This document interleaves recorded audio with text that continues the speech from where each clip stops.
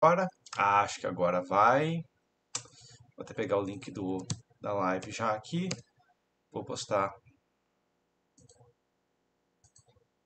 Não é isso que eu quero. Cadê aqui? Ué, que estranho. A conexão tá ok.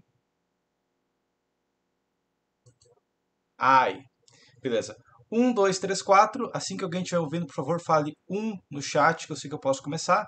A princípio estou ao vivo. Enquanto isso, vou postando nos grupos públicos ali a, a live em si. Vamos lá, beleza. Copiando aqui. Assim que alguém estiver me ouvindo, por favor, fale 1 no chat, que eu sei que eu posso começar. Ok, ok. Assim que alguém estiver me ouvindo, por favor, fala 1 no chat, que eu sei que eu posso começar, mas a princípio acredito que está ok. Questão base dessa live seria o quê?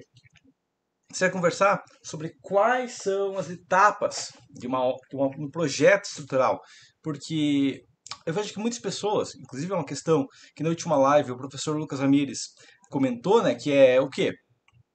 As pessoas, cada lugar faz uma faz um projeto de maneira diferente, cada escritório faz um projeto diferente e não tem um padrão de projeto, ou seja, escritórios diferentes vão fazer um projeto diferente e isso aqui não acontece em outras profissões, meio que um padrão da engenharia, né? tipo, um médico sempre vai fazer o quê? Vai, vai fazer o exame e tudo mais e verificar o que vai acontecer. Mas contador sempre tem um padrão de projeto, mas na engenharia a gente não tem muito um padrão de como que a gente vai começar um projeto. Ok? Se tiver uma dúvida relacionada, não é isso que eu queria pegar, cadê aqui? Tá? Se tiver uma dúvida relacionada a etapas da obra, podem postar aí, mas enquanto isso, fazendo aqui uma ideia básica, seria o quê? Quais as etapas de, digamos, de um projeto estrutural, e qual que seria o passo a passo para realmente fazer um projeto estrutural?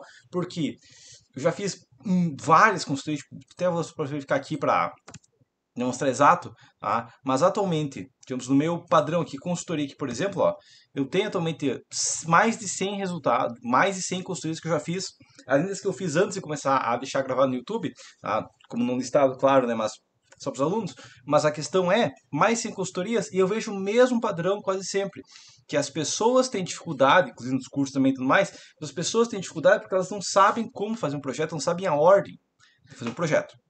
Então, se vocês tiverem alguma dúvida relacionada ao que eu vou comentar agora, podem falar. Mas a questão básica aqui é o seguinte, deixa eu até verificar como é que está a minha tela. Aqui está tranquilo, beleza.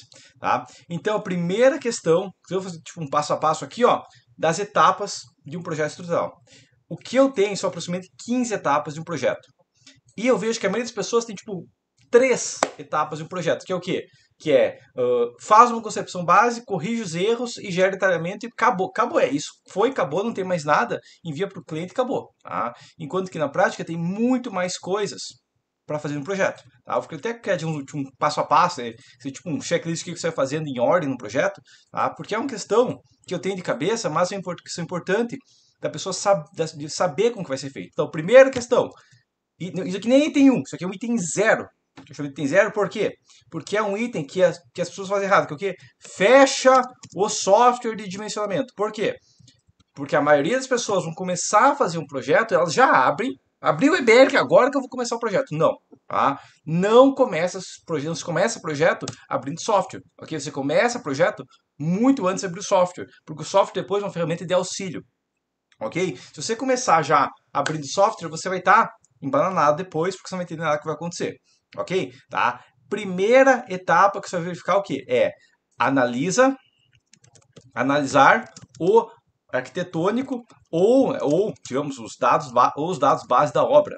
Dados base da obra. Seria o quê? Seria você pegar, se o cliente, se um, por exemplo, uma casa, um sobrado, do tipo, um prédio, você pegar a planta baixa, pegar o corte e verificar como que é, como que é a obra, tá? Para você ter uma base de como que é a obra. E daí você vai analisar essa obra e vai parar e pensar, ok, quais, qual sistema estrutural, quais sistemas, na verdade posso ter mais que um, né? Mas quais sistemas estruturais serão eficientes para esse tipo de obra?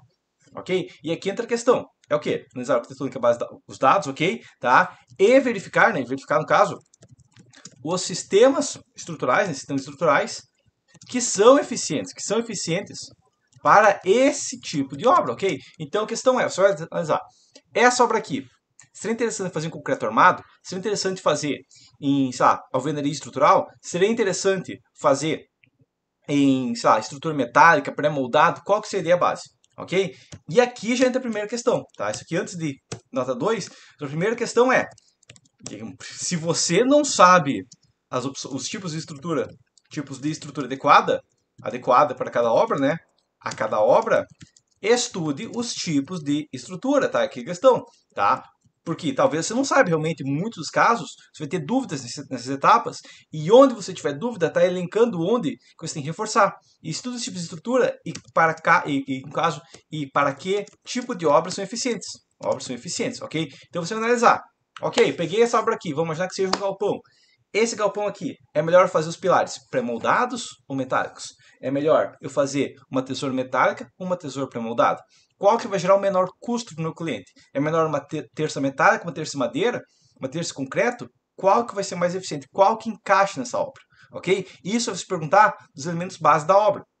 Se você tem, digamos aqui, o arquitetônico, os dados base, né, e que inclui, inclui, inclui aqui, incluso aqui, né, incluso aqui, uh, SPT ou qualquer outra informação base da obra, SPT, uh, dados, inclinação do terreno, inclinação do terreno, coisa do tipo, tá? Porque isso aqui, o local, né, do local da obra, terreno, local da obra, né? Porque tudo isso aqui são informações que vão que vão modificar o que, digamos, como que você vai escolher qual é o sistema estrutural. Você não vai escolher para fazer um pré-moldado, você tem que passar um rio, por exemplo, e não tem como ter um guindaste lá, daí complica. Tá? Então é essa questão que você tem que analisar. Se você não sabe, você vai ter que voltar a analisar quais tipos de obras são eficientes. Beleza? Tá? Se alguém tiver alguma dúvida, alguma coisa, pode ir postando aí, que eu já vou comentando, ok? Mas essa é a primeira etapa, tá? Próxima etapa, também uma etapa que eu vejo muitas pessoas pulando num, de um, projeto base, tá? Que é o quê? Que é se o projeto for complexo, tá? Então, se o projeto for complexo, não é sempre, tá? Se o projeto for complexo, conversar com o cliente, com o cliente, ou for complexo ou tiver várias opções, ou tiver várias opções, tá? Várias opções, conversar com o cliente qual sistema estrutural se encaixa melhor para a obra, se encaixa melhor para a obra. Isso seria o que seria o quê? Seria o seguinte, você chegar para o seu cliente e falar, ok, esse galpão aqui, a gente pode fazer os pilares sabe, metálico treliçado ou usar um pilar de concreto pré-moldado. Daí você vai conversar com o cliente e determinar ok, o pré-moldado vai ter essas vantagens, o metálico vai ter essas vantagens. Se você quiser construir um mezzanino depois, esse aqui é melhor. Se você quiser aumentar depois para outro lado, ok? Tá? E passar as informações para o cliente. Se quiser fazer um fechamento depois, esse sistema é melhor tudo mais. E já passar essas informações ao cliente. Qual é o sistema que se encaixa melhor para a obra dele. Ok? E verificar, ok? Determinar com o cliente isso, né? O seu cliente, qual sistema estrutural se encaixa melhor na obra e e determinar com ele, determinar com ele o sistema final, tá? Aqui também pode ser outros detalhes, como por exemplo, se você vai trabalhar com uma obra, você não sabe se vai trabalhar com laje treliçada maciça, você fala para o seu cliente, ó, a gente vai ter essas vantagens com laje treliçada, a gente vai ter essas vantagens com laje maciça, qual sistema você acredita que seja mais eficiente para o seu tipo de obra? Ok? Ou vai ter essa economia maior e tudo mais, mas quem sabe tem essas vantagens aqui. Pode ter viga aparecendo no meio da sala tudo mais, se não puder, a gente pode usar esse sistema, ok? Ou, se você quiser realmente esse pé direito pequeno que o arquiteto determinou, você vai ter que trabalhar com uma laje nerfurada. Mas se você puder aumentar o pé direito, gente consegue economizar colocando algumas vigas altas. Determinar isso com o cliente fechar isso com o cliente. E aqui você pode fechar, inclusive, qual que vai ser a altura máxima das vigas que você vai trabalhar, qual que vai ser a seção dos pilares, qual que vai ser a espessura real da parede, não o 15 que o arquiteto desenhou, ok? Porque não existe parede 15, Tá? Verificar com o cliente todos os detalhes aqui. Entendido? Se o pilar você tem que fazer embutido, você pode alargar para esconder no reboco ou você pode deixar exposto. Determinar isso que já com o cliente. Para depois você entregar o projeto, ele não fala, meu Deus do céu, o que está acontecendo aqui? Não era nada disso que eu queria. Você gastou muito tempo à toa e daí não adiantou de nada. Beleza? Por enquanto ninguém falou nada. Ok. Vamos para a próxima etapa. Que é o quê? Que é determinar, no caso a próxima reunião aqui, ó, qual opção de estrutura a utilizar. Tecnicamente aqui seria uma etapa, não seria a mesma etapa, né? que é determinar com ele o sistema, qual tipo de estrutura e tudo mais. Ok? Então a terceira etapa vai fazer o quê? Vai fazer o pré-dimensionamento. Fazer pré-dimensionamento da, da estrutura, tá? Da estrutura. E aqui a gente vai modular o quê? Os, os piores elementos, né? Piores elementos e os elementos base. Tá? Elementos base seria o quê? Bom, vamos imaginar que na sua obra tem, sei lá, uma viga de concreto que tem que vencer um vão de 6 metros. pré-dimensiona essa viga de 6 metros. Agora, a maioria das vigas da obra é vão de 4 metros. Pré-dimensiona as vigas para 4 metros e vão. Ok? E daqui você vai pré-dimensionar laje, viga, pilar, fundação. Se tem uma tesoura metálica lá, pré-dimensiona tesoura metálica. Se tem uma estrutura de madeira, pré-dimensiona estrutura de madeira. E dimensiona exames base, tá? E pré-dimensione tudo. Pré-dimensione todos os elementos da obra, ok? Ah, mas eu não vou fazer tal parte. Então você vai verificar com quem vai fazer, tá? Mas não deixa para o pedreiro fazer do jeito dele, tá? Pré-dimensione o que vai acontecer nessa obra aqui, ok? Todos os elementos da obra, incluso fundação, né? Incluso fundação, ok? Pré-dimensiona tudo isso e faz, daí, então essa é a primeira questão. Próxima questão é, faz um bloco de notas, um bloco de notas, ou um Word mais, faz um bloco de notas de, de, uh, com os piores, piores elementos da obra. Seria o quê? Bom, seria o seguinte. Você vai fazer um bloco de notas escrito o seguinte. O pior pilar da obra, eu sei que vai passar, quem sabe, com 14 por 50 com 8 barras de 10. Okay? A maior viga da obra vai ser uma viga de 60 de altura com, sei lá, dois ferros de 16 de positivo. Ok? E daí você vai ter essas informações. Aqui a gente vai entrar numa questão, que é o quê?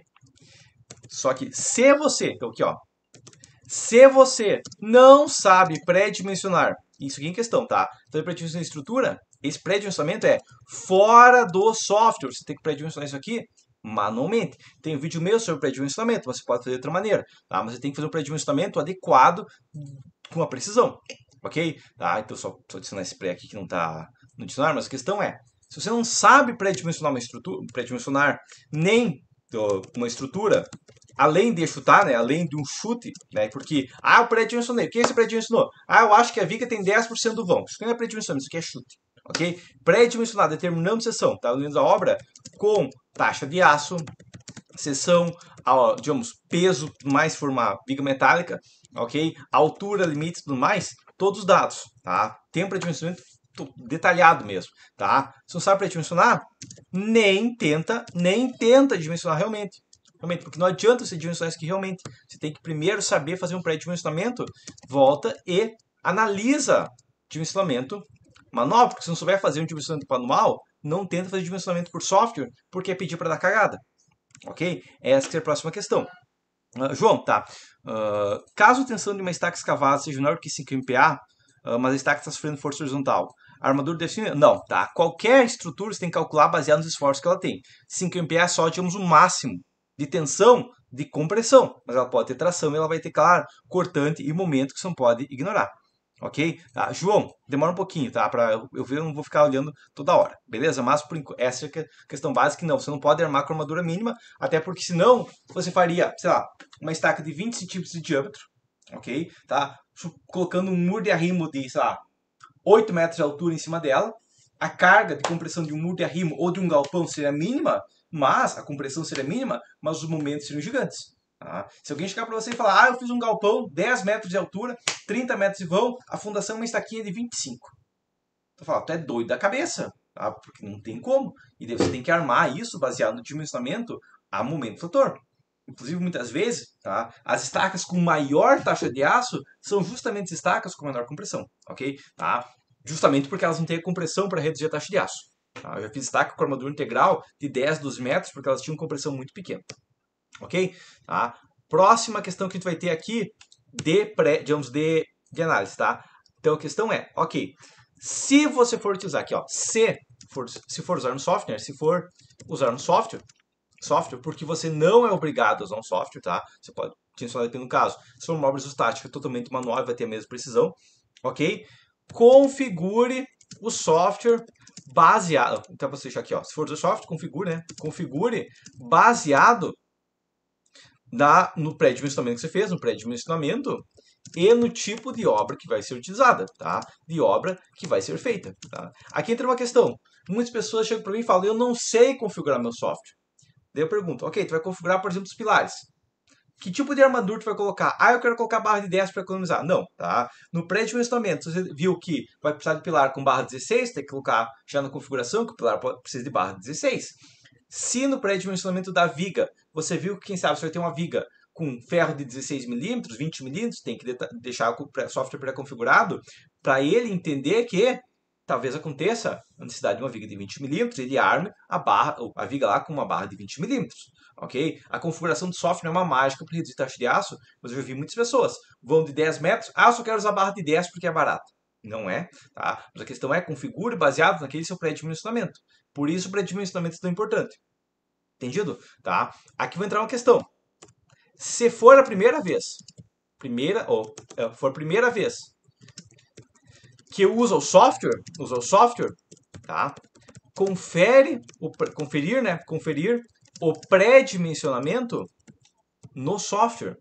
No software. Ou seja, ah, eu pré-dimensionei o pilar lá, está com 30 toneladas, pedido de 3 metros mais e deu isso. Ok.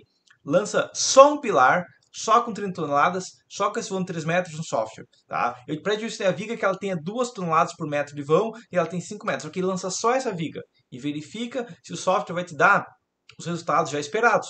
Porque se ele não der, volta nas configurações, volta para ajustar, tá? Se der diferença, até posso deixar aqui na linha, né? Se der diferença, volta para o pré-dimensionamento de configuração, tá? Porque senão você vai avançar à toa, tá? Se você avançar deixando o erro nesse lançamento simples, esse teste base do software, tá? Software aqui, ó, lançando, lançando um modelo simples, lançando um modelo simples, tá? E não pode dar diferença considerável. Ah, deu 2% de diferença, ok, tá? Mas diferenças grandes não pode acontecer, tá? Caiu um galpão na cidade de Canarana. Pois é, tu me mandou no meu WhatsApp pessoal, daí eu acabei não vendo, né? Mas tinha altura maior que o vão, pois é. Tá? Daí a questão é, a altura realmente é muito mais crítica que o vão num galpão. Um galpão com 10 metros de altura é muito mais crítico que um galpão de 10 metros de vão. Uh, Adriano, no muro de arrimo de blocos conhecedores, as vigas baldrames têm que ter a largura. Se tu for trabalhar com enriquecedor, você vai trabalhar com sapato corrida ou uma sapata em cada enriquecedor. Ok? As estacas, nem sei se vai ter estacas. Se for ter estacas, deveria ficar alinhado com o enriquecedor, porque aquele é o ponto rígido. Tá? Estou uh, montando minhas planilhas, ok? Seguindo sua planilha, porém o método de cur dá uma diferença absurda. Pois é, a questão é, usa vários métodos, tá? Eu nunca recomendo usar menos que 3 metros para fundação, porque dá diferença, ok? Uh, entendeu? Não adianta, eu vou usar um método só, tá? Até porque os métodos, então, vezes vai estar questões diferentes, mas nem sempre o resultado é tão diferente. Como assim? Uma questão que acontece com destaca é que, ah, lancei uma estaca de 5 metros, pelo método de Kur, pelo método do Birberry, pelo método do AOC, e uma deu 15 toneladas, outra deu 5. Ok, isso, essa deu 5 toneladas, se descesse mais um metro talvez voltasse para umas 12, 13, 15 toneladas. Muitas vezes a diferença é pequena assim, mas é questão de só mais um metro de, de profundidade e coisa do tipo. Ok? E seguindo aquela ideia base de pré-dimensionamento de destaca que eu falo da, da, daquelas fórmulas né, de profundidade relativa ao diâmetro, você não vai ter esse problema. Ok? Voltando então, próxima etapa que tem depois de fazer um pré-dimensionamento. Ok? Só uma nota que eu vou colocar aqui, ó. Se você não configurar, tá? É efeito bola de neve, tá? Uma pequena diferença, diferença aqui, gera uma cagada gigante depois, tá? Se você não fizer uma configuração base do software, daí a questão é, ou pode acontecer se eu gastar muito tempo de detalhamento, porque você poderia ter feito a configuração rapidinho ali e ajustaria, ou pode te dar resultado errado porque você não verificou, ok? E aqui é a situação. Se você não sabe configurar, tá? Analisa Tá? Analisa o manual, o manual de software, tá? Software e analise também não só o manual de software, mas analise também as os detalhes da o como que é, como geralmente é executado obras na sua região, executado obras na região, tá? Porque isso aqui vai obras da região, porque isso aqui pode dar diferenças consideráveis, tá?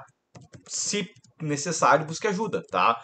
Porque um, um erro de configuração pode dar um efeito bola de neve gigante depois, ok? Próxima etapa que a gente vai ter vai ser faça uma concepção base. Tá? Então, faça uma concepção base. São base. Tá? Essa concepção base deve respeitar, deve respeitar o pré-dimensionamento. Então, se no pré-dimensionamento você determinou que o maior vão é 6 metros, não dá para lançar uma viga de 8 metros agora. Senão, senão pré-dimensionou à toa. Ok? Tá? Se necessário, se necessário, você pode modelar em, em dois softwares, né, ou em dois softwares, ou parte em software, parte manual, tá? Mas, aqui, ó, mas verifique muito bem, muito bem a ligação, a integração entre esses elementos, ok? Entre elementos, porque se você usar dois softwares, a parte software e a parte manual, você tem que verificar muito bem se o que você está lançando realmente está fazendo o resultado correto, se está fazendo maluquice, ok? Essa é a questão inicial, tá? a questão base aqui, tá? Se alguém tem alguma dúvida aqui, não, por enquanto, beleza. Próxima questão que a gente tem aqui, ó, vai ser o quê? Tá? Verifica, tá? Verifica verificar se realmente respeita o pré-dimensionamento, respeita pré-dimensionamento, tá? Porque okay, eu coloquei aqui que deve respeitar, mas muitas vezes você esquece disso aqui, tá? E se está atendendo, se todos os valores, valores, você tem justificativa, tá? Justificativa, justificativa com base na norma. Isso aqui seria o quê? Ok, a gente falou pré-dimensionamento e tudo mais, ok. Mas a questão é, a sobrecarga que você lançou, ah, eu lancei 200 quilos porque eu acho bonito 200 quilos. Não. Você tem que fazer o seguinte. Eu lancei uma sobrecarga de 200 quilos por metro quadrado porque eu verifiquei a NBR 620, tem esse valor. Eu lancei uma carga permanente de 165 quilos por metro quadrado porque eu estou usando tantos centímetros de revestimento, tantos centímetros de nivelamento, tantos centímetros de uh, reboco embaixo da laje, eu estou considerando sabe, forro de gesso, eu não estou considerando forro de gesso, eu estou considerando instalação elétrica, estou considerando instalação hidráulica, estou considerando tal coisa, tal coisa, tal coisa, e essas cargas exatas eu tenho certeza disso. Okay? Eu não estou chutando essas cargas, tenho certeza disso. O mesmo vale com o vão que vai ser trabalhado, a altura que vai ser trabalhado, e qualquer outra coisa que você lançou, você tem que verificar se tudo que você lançou até agora do modelo está dentro e você tem base na norma, porque senão não adianta. Ok? Se, só lembrando aqui, ó, se estiver fora, você fez tudo acima. Você fez tudo acima à toa, porque não adianta você fazer fora de norma, ok? Tá? Realmente deu muita diferença, ok? Tá? Uh, Gustavo, como funciona a transferência de esforço em uma escada plissada? Tá? Basicamente, uh, vai fazer um modelo de biela tirante, tá? Uh, não tem questão especial, tá? Um estribo no outro, uma carga vai sair de um e entrar para o outro, baseado no coragem de cada um, tá? Mas a questão é, faz o modelo de tirante e verifica ali cada nó, ok? Próximo item que a gente vai ter, depois dessa análise aí de, de nos fazer o pré-dimensionamento que tinha feito, tá? Vai ser o quê? Só pegando, eu tenho, eu tenho até um bloco que estou fazendo uma ideia base, tá? tá? Dimensionar a estrutura, dimensionar a estrutura realmente, tá? Dimensionar a estrutura, tá? Aqui que vai entrar uma questão. Esse dimensionamento, não importa o que você fizer, tem que fazer ele adequadamente, ok? Tá? Isso aqui é tranquilo, tá? Agora a questão é, verificando, e, e, e verifique, né? E verifique, e compare, pode ser, e compare os resultados, resultados com o pré-dimensionamento, tá? Então, por que, que eu tenho que fazer o pré-dimensionamento? Por que, que eu não posso começar já lançando tudo no software? Porque se você começar lançando tudo no software, você não vai saber que o resultado está correto. Ah, o pilar está com muito aço. É, é. Comparado ao quê? Baseado em que você acha que ele deveria ter menos aço? Baseado em que você acha que a viga deveria passar com menor altura? Baseado em que você acha que essa laje aí deveria resistir o vão? Baseado em que você acha que uma sapato desse tamanho deveria resistir? Ok? Então por isso a gente fez o pré-dimensionamento. Tá? Se, ó, aqui tá. Se houver diferença considerável, né? Considerável aqui, digamos sei o que seria maior do que 10%, ok? Aqui maior, aqui, maior que 10%, tá? Descubra o motivo. Descubra o motivo. Isso não deveria acontecer. Tá? Deveria acontecer. Tá? Aqui entra a questão. Ah, eu pré-dimensionei e eu achei que o pilar ia passar com 8 barras de 10. Mas ele passou com 10 barras de 10. Ok. Qual motivo aconteceu isso? Beleza? Tem como depois você corrigir para virar 8? Se for uma questão pequena, ok. Agora, eu pré-dimensionei que o pilar ia passar com 8 barras de 10.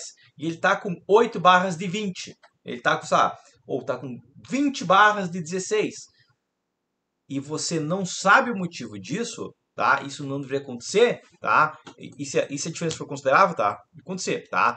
E se a diferença passar, né? Passar de 25%, você não, não, você fez alguma cagada, alguma cagada em algum momento. Pode ser tanto em algum momento. Pode ser tanto no pré-dimensionamento, pode ser no dimensionamento final, tá? Descubra o motivo. tá?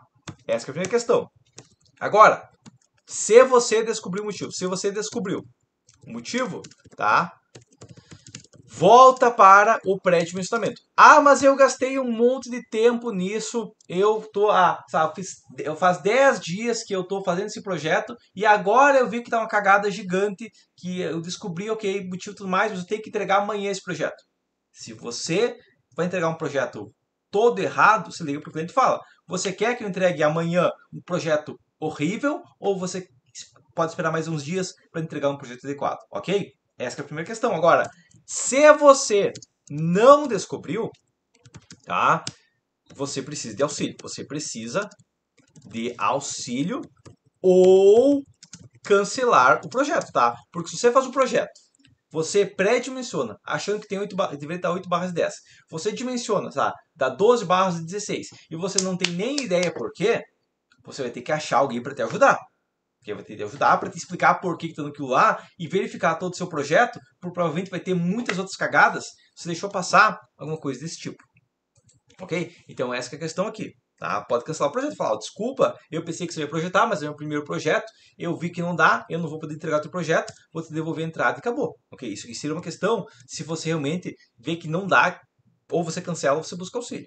Ok? Essa seria a questão base. Tá? Mas você de qualquer maneira, se você deu uma diferença errada, considerável, você volta lá para trás, porque você tem que correr isso aqui, refazer todo esse modelo, porque o modelo que você fez totalmente errado é a mesma coisa que não ter feito. Tá? Não adiantou nada. Não importa se você gastou uma semana, duas semanas fazendo um modelo. Se o teu modelo tá um lixo, pega o lixo e joga no lixo. Ok? Não tenta salvar lixo. Ok? Se você pegar, tem um lixo, você for revirar lixo, você só vai passar vergonha e vai, as olhar e vão pensar, é maluco, ok? Então não faça isso, tá? Se você fazer, essa é a questão base, tá? Agora, se a diferença é 5%, 10%, beleza, vai adiante, desde que você descubra o motivo, beleza, tá? Mas a questão é, se deu uma diferença pesada, não deveria dar diferença pesada, tá? E aqui entra uma questão, pode ser para baixo também. Eu já vi engenheiro esquecer de lançar sobrecarga. Já aconteceu, eu peguei um projeto, o cara não usa sobrecarga. Ah, minha laje de 8 mais 4 está passando taxa de aço mínimo no vão de 6 metros. Por quê? Porque você configurou tudo errado o software. Daí não adianta. Ok? É essa a questão. Ah, mas não tenta salvar um modelo totalmente errado. Ok? Tá? Essa é a questão base. Próxima. Se for um projeto complexo, aqui ó, se for projeto complexo, né? Projeto complexo, que entra a questão. Ah, é um reservatório lá metálico, ok. Tá, é só espessura da chapa e acabou. Agora, se for um, uma estrutura ali que o cliente pode ter questões de que pode ou não pode ter um pilar ali, que uh, talvez veja que tem um limite do mais que você modificou, alguma coisa do tipo, tá? Enviar ao cliente, enviar ao cliente a concepção base e pedir a aprovação dele, ok? Porque senão você vai fazer todo o detalhamento depois, vai fazer todos os ajustes depois, dele chega para você e fala, não, isso aqui não, não era assim, tem que tirar o pilar. Você gastou 10 dias no detalhamento e ele fala, não, esse pilar não poderia estar tá aí. Deve estar cagado e rodeado de mosca. Ok? Tá? Aqui entra a questão. Se ele pedir ajustes, ajustes, tá? Volta para a concepção base. Ok? Não adianta, tá? Se ele pediu ajustes, ou no caso, ou concepção base, ou, no caso, talvez tenha que voltar pro pré-dimensionamento. Ok, dimensionamento aqui. Tá? Essa é a questão. Verificar dependendo do que, que ele pediu de ajustes. Ele pediu para deslocar um pilar 5 centímetros para o lado? Ok, diferença pequena. Ele pediu para tirar o pilar? Ele pediu para aumentar o vão, mudar a obra? Ok, volta para a concepção base pré-dimensionamento, porque não adianta essa obra não está conforme o pré-dimensionamento que você fez, a concepção que você fez, vai ter que refazer. Ok, isso que vai virar um loop até você fazer certo. Ok, essa que é a ideia base. Uh, voltar para cá, tá? Você, como você renomeia as folhas de projeto? Tá? Eu folha 1, folha 2, folha 3, folha 4. Tá? Eu coloco o total de folhas. Tá? Eu começo a fundação e vou subindo. Uh, um volume de caixa d'água de 2,5 de altura. Usuário em resistência térreas. Volume de 2,5? Não. Volume, volume é volume. Tá? Uh, todos os cantos? Não, não precisa de pilar em todos os cantos. Você pode, na verdade, nunca precisa pilar em canto. Tá? Sempre colocar, colocar pilar fora do canto. Tá? Uh, chumbador de concreto tem que trans... se ele vai, gerar tração, ele tem que ancorar alguma outra peça que resiste tração, tá? Essa é a ideia básica. Tá? Ele não pode só gerar tração no concreto, concreto servir com tração, por concreto não resiste tração nenhuma. Ok? Próxima questão, item 10 agora aqui, que seria o quê? Beleza. Aqui entra uma questão que vai ter que ter uma diferença, tá? Mas a questão é, verifique, né? Verifique os valores exatos, né? valores exatos, valores exatos, e faça pequenos ajustes na obra, ok? Isso aqui na obra, tá? Estou falando pequenos ajustes na obra, tá? E detalhamento, e detalhamento dentro do software com base. Ok, isso aqui é pequeno ajuste, seria o quê? Sabe? Tipo, é uh, redistribuição, redistribuição de até 25%, até 25%, tá? Isso aqui seria a questão de questão de, tipo, uh, deslocar 5 centímetros uma viga, deslocar 5 centímetros uma viga, coisa do tipo assim, tá? É diferenças pequenas na modelagem, tá? É, é ajustes, é, é digamos, é, é ajustes ali pequenininho, só só para deixar calibrado, tá? É calibrar, eu vi que exato se faça ajustes barra calibramento, né? Só você só vai terminar ali o que já estava feito, ok? Tá? Isso aqui é questão básica, entendimento dentro do software, ok? Tá? Isso não inclui inclui mudança da concepção estrutural, tá? Não inclui mudança da concepção. Se você está mudando a concepção estrutural, não dá, tá? Volta lá para o começo o instrumento, ok? Tá? Aqui é questão pequena, tá? Beleza? Entendeu isso aqui? Agora, 11. Esse tem 11, é que vai diferenciar o engenheiro mesmo e o cara que faz o projeto de qualquer jeito, ok? Tá? Mas vai para de gauchada? Não, é diferente, cara. Tem diferenças baseado dependendo do que está calculando. Tá? Agora, item 11, tá? Esse aqui eu vou ter que xingar algumas pessoas, mas é a questão que eu vejo muita gente fazendo isso e é uma maluquice, tá? Se você se você não se importa de entregar um projeto, entregar um projeto meia boca e ser considerado engenheiro mais ou menos, gera os desenhos e envia a obra. ok? Isso aqui é o que? Ah, é, esse projeto aqui tá mais ou menos tá ok. Eu fiz pro meu primo, ele não contratei outra pessoa mesmo.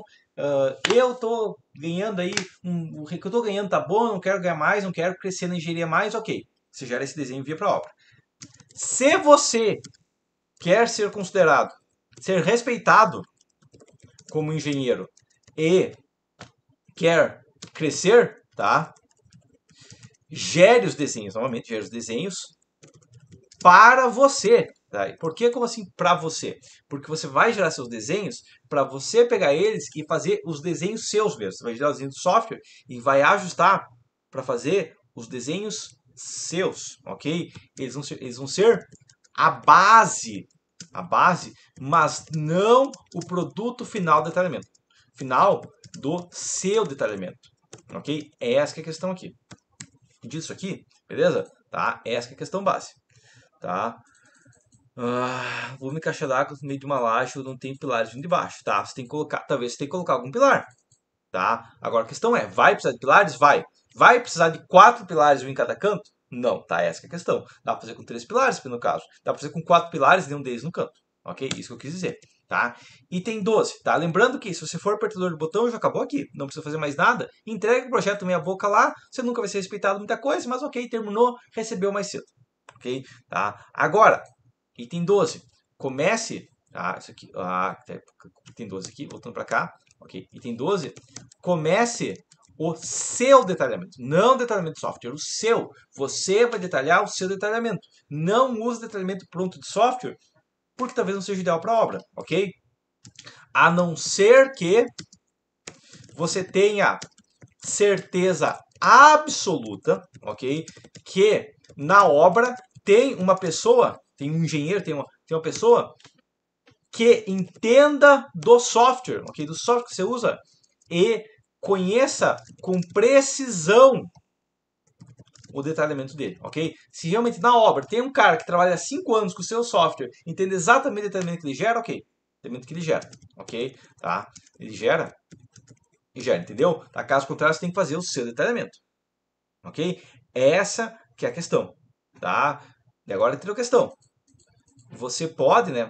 Você pode usar a base do software e ajustar. Ou seja, você vai pegar o desenho do software, vai ajustar, você pode modificar algumas questões ali, a posição numa cota, ah, modificar os textos, modificar todas as questões, colocar algumas cotas adicionais e tudo mais. Você usar o detalhamento base do software como uma base, ok? Vai modificar ele, vai calibrar ele para a obra, porque na obra vai chegar lá, vai ter um mestre de obras que terminou a quinta série e ele vai ter que entender aquilo lá, ok? E muitas vezes ele não vai entender corretamente, ok? Muitas vezes o software está ali em milímetros e ele não sabe o que é milímetro. Eu já peguei mestre de obras que não sabia o que era milímetro. Estava escrito lá na, no Dakota 4.080, ok? Estava escrito isso aqui, ó, só ter colocar no calculador, 4.080, ok? Ele viu 4,80, fez um mediu 4,80, depois falou, o terreno está muito pequeno para a obra. Por quê?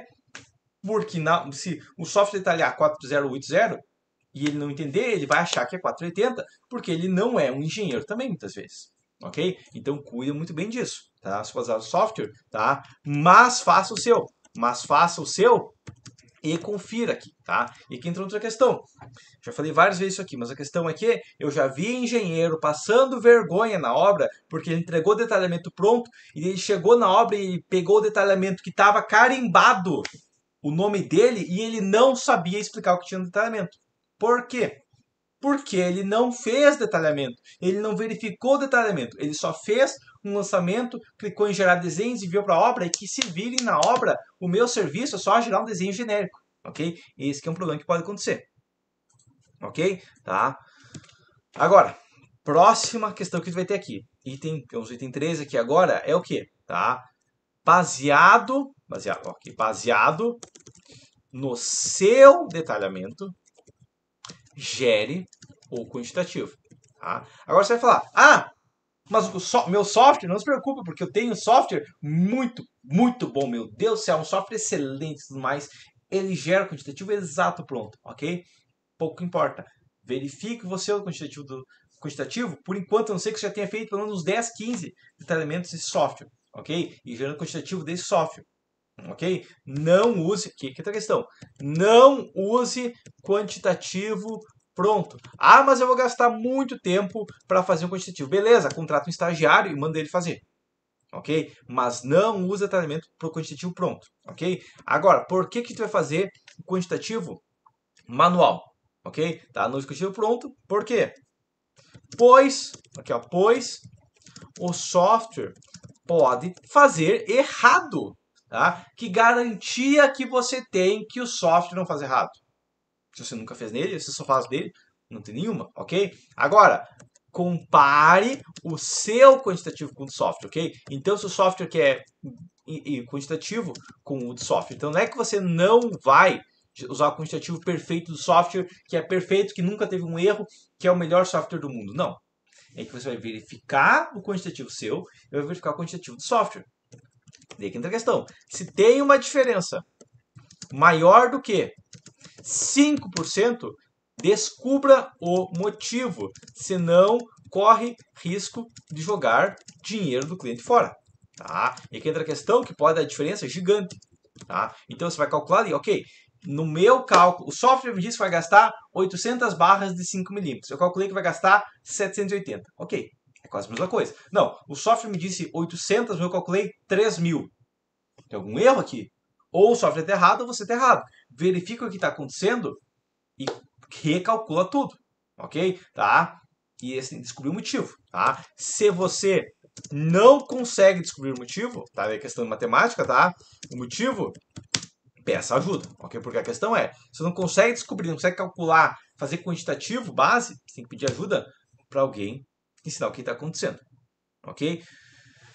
Realmente, ajustes de detalhamento são muito importantes, tá? Uma coisa que eu costumo fazer é ajuste de barras, tudo mais, arranque tudo mais, para aproveitamento. Pois é, tá? Inclusive isso aqui você pode fazer dentro do software algumas coisas, mas faz o final manual para você ter o seu detalhamento final, ok? E a questão é, aqui tem uma questão base, que é o quê? Que, uh, os, digamos, o, como é que eu posso explicar isso aqui? Esses ajustes aqui é o que vai muitas vezes dar uma diferença considerável no final da obra, tá? Uh, em vigas contínuas, quando optar por usar o máximo comprido possível de vergalhão e quando cortar o vergalhão, tá? Isso vai depender da qualidade da mão de obra que você tem, tá? Tem um vídeo meu sobre armadura base ou armadura porta-estribos, assistir ele, tá? Eu gosto de fazer o meu quantitativo porque isso me ajuda a manter a mente ativa. Pois é, também, tá? No do programa, pois é, tá? Mão de obra. Uh, o Gilberto tá manso. Não, até, não tô tão manso assim, tá? Mas só a questão é que tem mais coisa para fazer, tá? Tem mais coisa aqui ainda que tem que continuar aqui porque não terminou ainda, tá? Questão é, agora, terminou? Não, tá? Tem um item chamado envia para o cliente. Esquece, você não vai enviar só porque está pronto. Não, tá? Aguarde no mínimo 24 horas. Como assim? Parado assim? Não. Pode fazer outro projeto, pode fazer outra coisa. Mas você vai refrescar a sua mente. Ok? Tá? Aguarde 20, 24 horas, tá? E de manhã. Ah, eu posso fazer isso de noite? Não, faço aqui de manhã, com a mente clara, que você está entendendo as coisas, tá? De manhã, com tempo livre, tá? Você não vai fazer isso aqui em 10 minutos, tá? Isso aqui é uma parte mais importante da obra, você não pode fazer isso aqui apressado, tá? Com tempo livre, sem incomodação, tá? Você não pode fazer isso aqui enquanto você está, sei lá, ah, eu estou cuidando de três crianças aqui e eu vou fazer ao mesmo tempo isso. Não dá, tá? Revise a obra, ok? Revise o projeto, caso revise o projeto, ok? E aqui entra a questão, você vai revisar esse projeto aqui para verificar, ok, faz sentido que eu lancei aqui? Faz sentido o modelo que eu fiz? Faz sentido esse detalhamento? Ok? Tá? Isso você tem que verificar, porque senão depois vai dar pepino na obra. Ok? Faz sentido? Tá tudo fazendo sentido? Beleza. Tá? Revise o projeto. Ok? Revisou todo o projeto? Beleza? Revisou? Ok, tá. Agora o item 16 é envie o, o projeto, o projeto aqui, ó, o detalhamento, na verdade que eu falo de projeto, mas a questão é, você nunca envia projeto para obra, tá? Ninguém te contra... a pessoa me contratou para fazer um projeto. Não, ela te contratou para fazer um detalhamento. Ok? O projeto você faz para conseguir fazer o detalhamento, tá? Você enviar o detalhamento para a obra. Por isso que eu falo de você fazer o detalhamento, porque a única coisa que a pessoa te contratou foi para fazer um detalhamento ok? Se você enviar para a obra, que era para colocar 4 ferros e 10 num pilar, e você gastou 8 horas calculando o pilar, ou você achou que 4 barras de 10 é bonito e mandou, o cliente não vai saber o que aconteceu, ele só vai colocar 4 barras de 10, ok? Claro, se quebrar, você está quebrado, mas a questão é, essa é a questão básica, entendido? Então, você envia o detalhamento para a obra agora, beleza? Entendido isso aqui? Tá. Uh, esse documento, cara, documento você pode assistir, copiar ou Agora entra a questão. É para você fazer exatamente o que estou escrevendo aqui? Não. Tá? Isso aqui eu estou dando uma base do que eu recomendo você seguir. Você tem que aplicar modificações dependendo do tipo de obra. Ok? Dependendo do que, que você executa, dependendo do tipo de cliente. Talvez tenha questões específicas aqui ó, que eu não abordei. Como, por exemplo, vamos imaginar que você trabalha em, digamos, você trabalha no escritório onde tem outro engenheiro que trabalha com você. Bom, esse tempo aqui de revisão, você poderia passar para outro engenheiro revisar. Ok? Tá? Inclusive, isso aqui nem é do meu escritório, isso aqui é só uma recomendação minha. Por quê? Porque tem vários itens aqui que é o quê? Eu faço concepção base e passo para o meu estagiário fazer o detalhamento, fazer alguns detalhes, fazer quantitativo e tudo mais. Ok? Então tem várias coisas que você pode modificar baseado no seu escritório. Tá? Não segue copiado igual. Tá? Porque você é só um robô que faz qualquer jeito. Qual é o nome do robô que faz qualquer jeito? Software ok? Se você fazer igual, não nem precisa fazer tudo que eu estou ensinando, beleza? Muito obrigado, Mackenzie. Tá?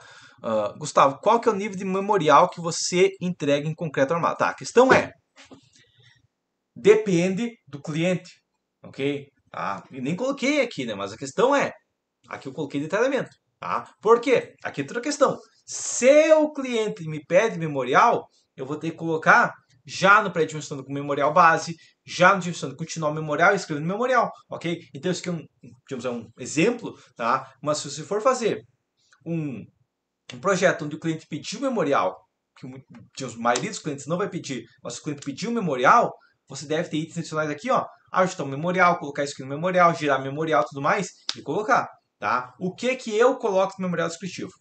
Memorial descritivo eu só coloco tipo materiais. Agora, memorial de cálculo, eu coloco se eu estou usando software, eu coloco o arquivo do software. Esse é o arquivo do software, tá? Tá aqui o arquivo e daí eu coloco um 3D da obra em vários modelos, vários sentidos. Gera um 3D global da obra também, tipo um, um ponto SKP, um ponto WG, alguma coisa do tipo, ou um ponto IFC, posso ter gerar os três, depende do cliente. E coloco no memorial, daí coloco no, no memorial de cálculo, tá? O, o, o, o projeto estrutural que foi feito dentro do CIP 3D, por exemplo, está no link abaixo. Eu coloco um link. O, o modelo tridimensional da obra está no link abaixo. Ok, eu coloco isso aí também. Tá? E daí, por final, eu coloco as peças críticas, eu coloco, digamos, um detalhamento maior. mas depende de cada obra. Ok?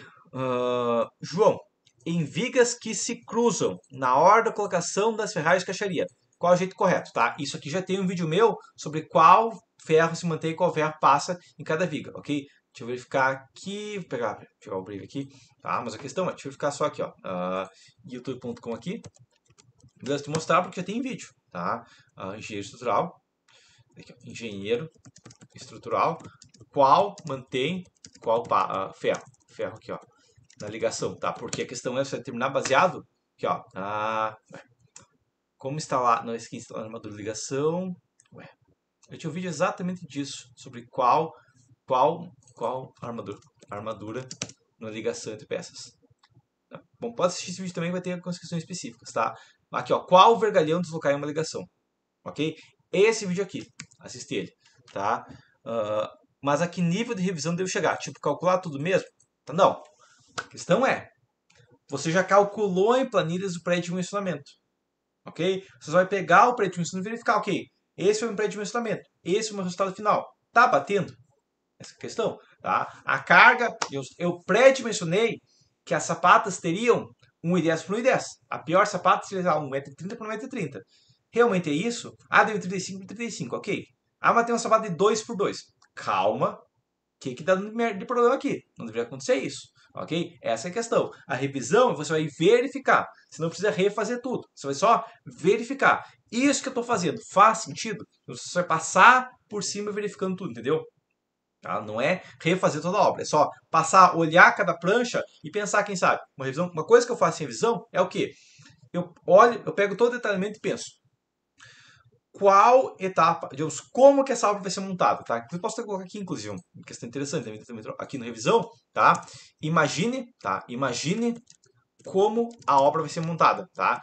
O que que é esse imagine como a obra vai ser montada? Vai ser o seguinte, você vai parar e pensar, ok, eles vão chegar na obra, tá? Vamos imaginar o, a, a, equipe de execução chegando na obra. Tem algum lugar do projeto que diz onde que vai ser essa obra do terreno? Vai ser na frente, nos fundos, lateral, direita, lateral, esquerda, se está na divisa ou não? Espero que tenha. Se não tem, já dá um erro aqui, ok? Próxima questão. Eles vão marcar o esquadro da obra, ok? Tem marcado a posição de todos os pilares da obra? Se sim, beleza. Se não, é um pepino que deu. Ok? Beleza, eles vão marcar todos os pilares. Eles vão começar a escavar a fundação. Eles sabem até que profundidade escavar. Qual que é o zero dessa obra? Ah, eles têm que cavar um metro e meio. Um metro e meio baseado na frente do terreno, no fundo do terreno, no eixo da rua, de onde? Ok? Tem que ter detalhado na obra. Beleza? Em seguida, eles têm que fazer uma fundação, você tem que fazer sapatos, tem que fazer destaques e tudo mais, ok. Tem detalhado que tipo de estaca é, ou, se for sapata, as dimensões exatas da sapata, a armadura desse sapato e tudo mais, tá detalhado aqui? Sim. Tá detalhado o comprimento e tudo mais, ou uma ideia básica, posição dessa armadura e tudo mais? Beleza. Tá detalhado qual que é o sentido de cada sapata? Beleza. Ok. Tá detalhado os arranques, porque quando eu fazer sapata, você tem que colocar os arranques. Tá detalhado? Beleza. Ou, mesma coisa, bloco tudo mais. Tá detalhado o bloco? Essas coisas, tá? Vou fazer as baldrames. Tá detalhado os baldrames? Sim, ok. Tá detalhado a altura da baldrame? Ah, baldrame no nível zero. Nível zero cotado de onde? Lembra disso? Ok? Tá detalhado todos os baldrames? Beleza. Foi os baldrames. Tá? Tá detalhado o cobrimento, FCK e tudo mais? Ok. Vamos fazer os pilares e começar a primeira laje. Tá detalhado toda a primeira laje? Tá detalhado o FCK da laje, tipo de laje, desníveis, armadura negativa e tudo mais? Ok, imagina a obra sendo montada. Ok? Tá? Quando eu pensar, ah, vou colocar o isopor. Eu cotei a quantidade de isopor? Ah, meu software não gera isopor. Pois é, tem esse problema. Ok? Então, verifica se está detalhado isso aí também. Próximo andar. E daí vai repetindo isso aqui até chegar na cobertura. Ok? Terminou a laje, acabou o concreto armado, acabou a minha obra. Não, tá? Eles vão fazer um telhado. O telhado de madeira ou metálico? Ah, um telhado metálico. Beleza. Eu cotei a quantidade de aço metálico, quantos, quantas terças vai, quantos banzos vai, treliço, tudo mais, vai, tem que estar detalhado. E as ligações, eles vão chegar com a tesoura lá metálica e vão largar em cima do pilar? Não, tem que ter uma ligação. Eu detalhei essa ligação, ou detalhei como que eu vou fazer essa ligação, ou eles vão ter que chegar e inventar alguma coisa na hora. Entendeu? Tá? Vou colocar uma telha. Tá? Eu detalhei qual tipo de telha é, ou eles podem usar qualquer telha? Não pode, porque eu calculei um peso específico, ok? E assim por diante. Imagina toda a obra sendo montada. Tá? Uh, vejo no Instagram pessoas que fazem propaganda usando bloco de vedação em paredes que recebem vento. Ok? Inclusive, às vezes, servindo de forma. Você viu algum sobrado que foi executado assim deu problema? Cara, a maior parte das obras no Brasil dá problema. Cai! Não, porque existe muita coisa que acontece entre a obra está de pé, bonitinha, perfeita, e a obra cai. Ok? Fissuração, uh, fissuração de maior porte, recalque diferencial, pode acontecer outras patologias baseadas numa coisa mal feita. Não necessariamente a obra cai. Ok? Inclusive pode acontecer, digamos, feita uma obra. Tá? Vamos imaginar que tem um pé direito duplo. Ok? Tá? Tem um pé direito duplo. Os caras vão lá e fazem uma alvenaria de 9 centímetros. E aí a alvenaria cai. Durante a execução, muitas vezes. Ok? Caiu a obra? Não, caiu uma paredinha ali, ela tem que ser refeita. Mas não caiu a obra, mas foi uma queda ainda, foi uma falha ainda, ok? Ou teve fissuração pesada, teve outros efeitos, tudo isso pode acontecer, ok? Inclusive eu já presenciei em mais de uma obra uma parede que caiu durante a execução. Foi a obra caiu, meu Deus do céu? Não. Foi um erro que o engenheiro executor deixou passar, ou foi um erro que o engenheiro da obra deixou passar. Não deveria ter deixado passar, mas deixou passar.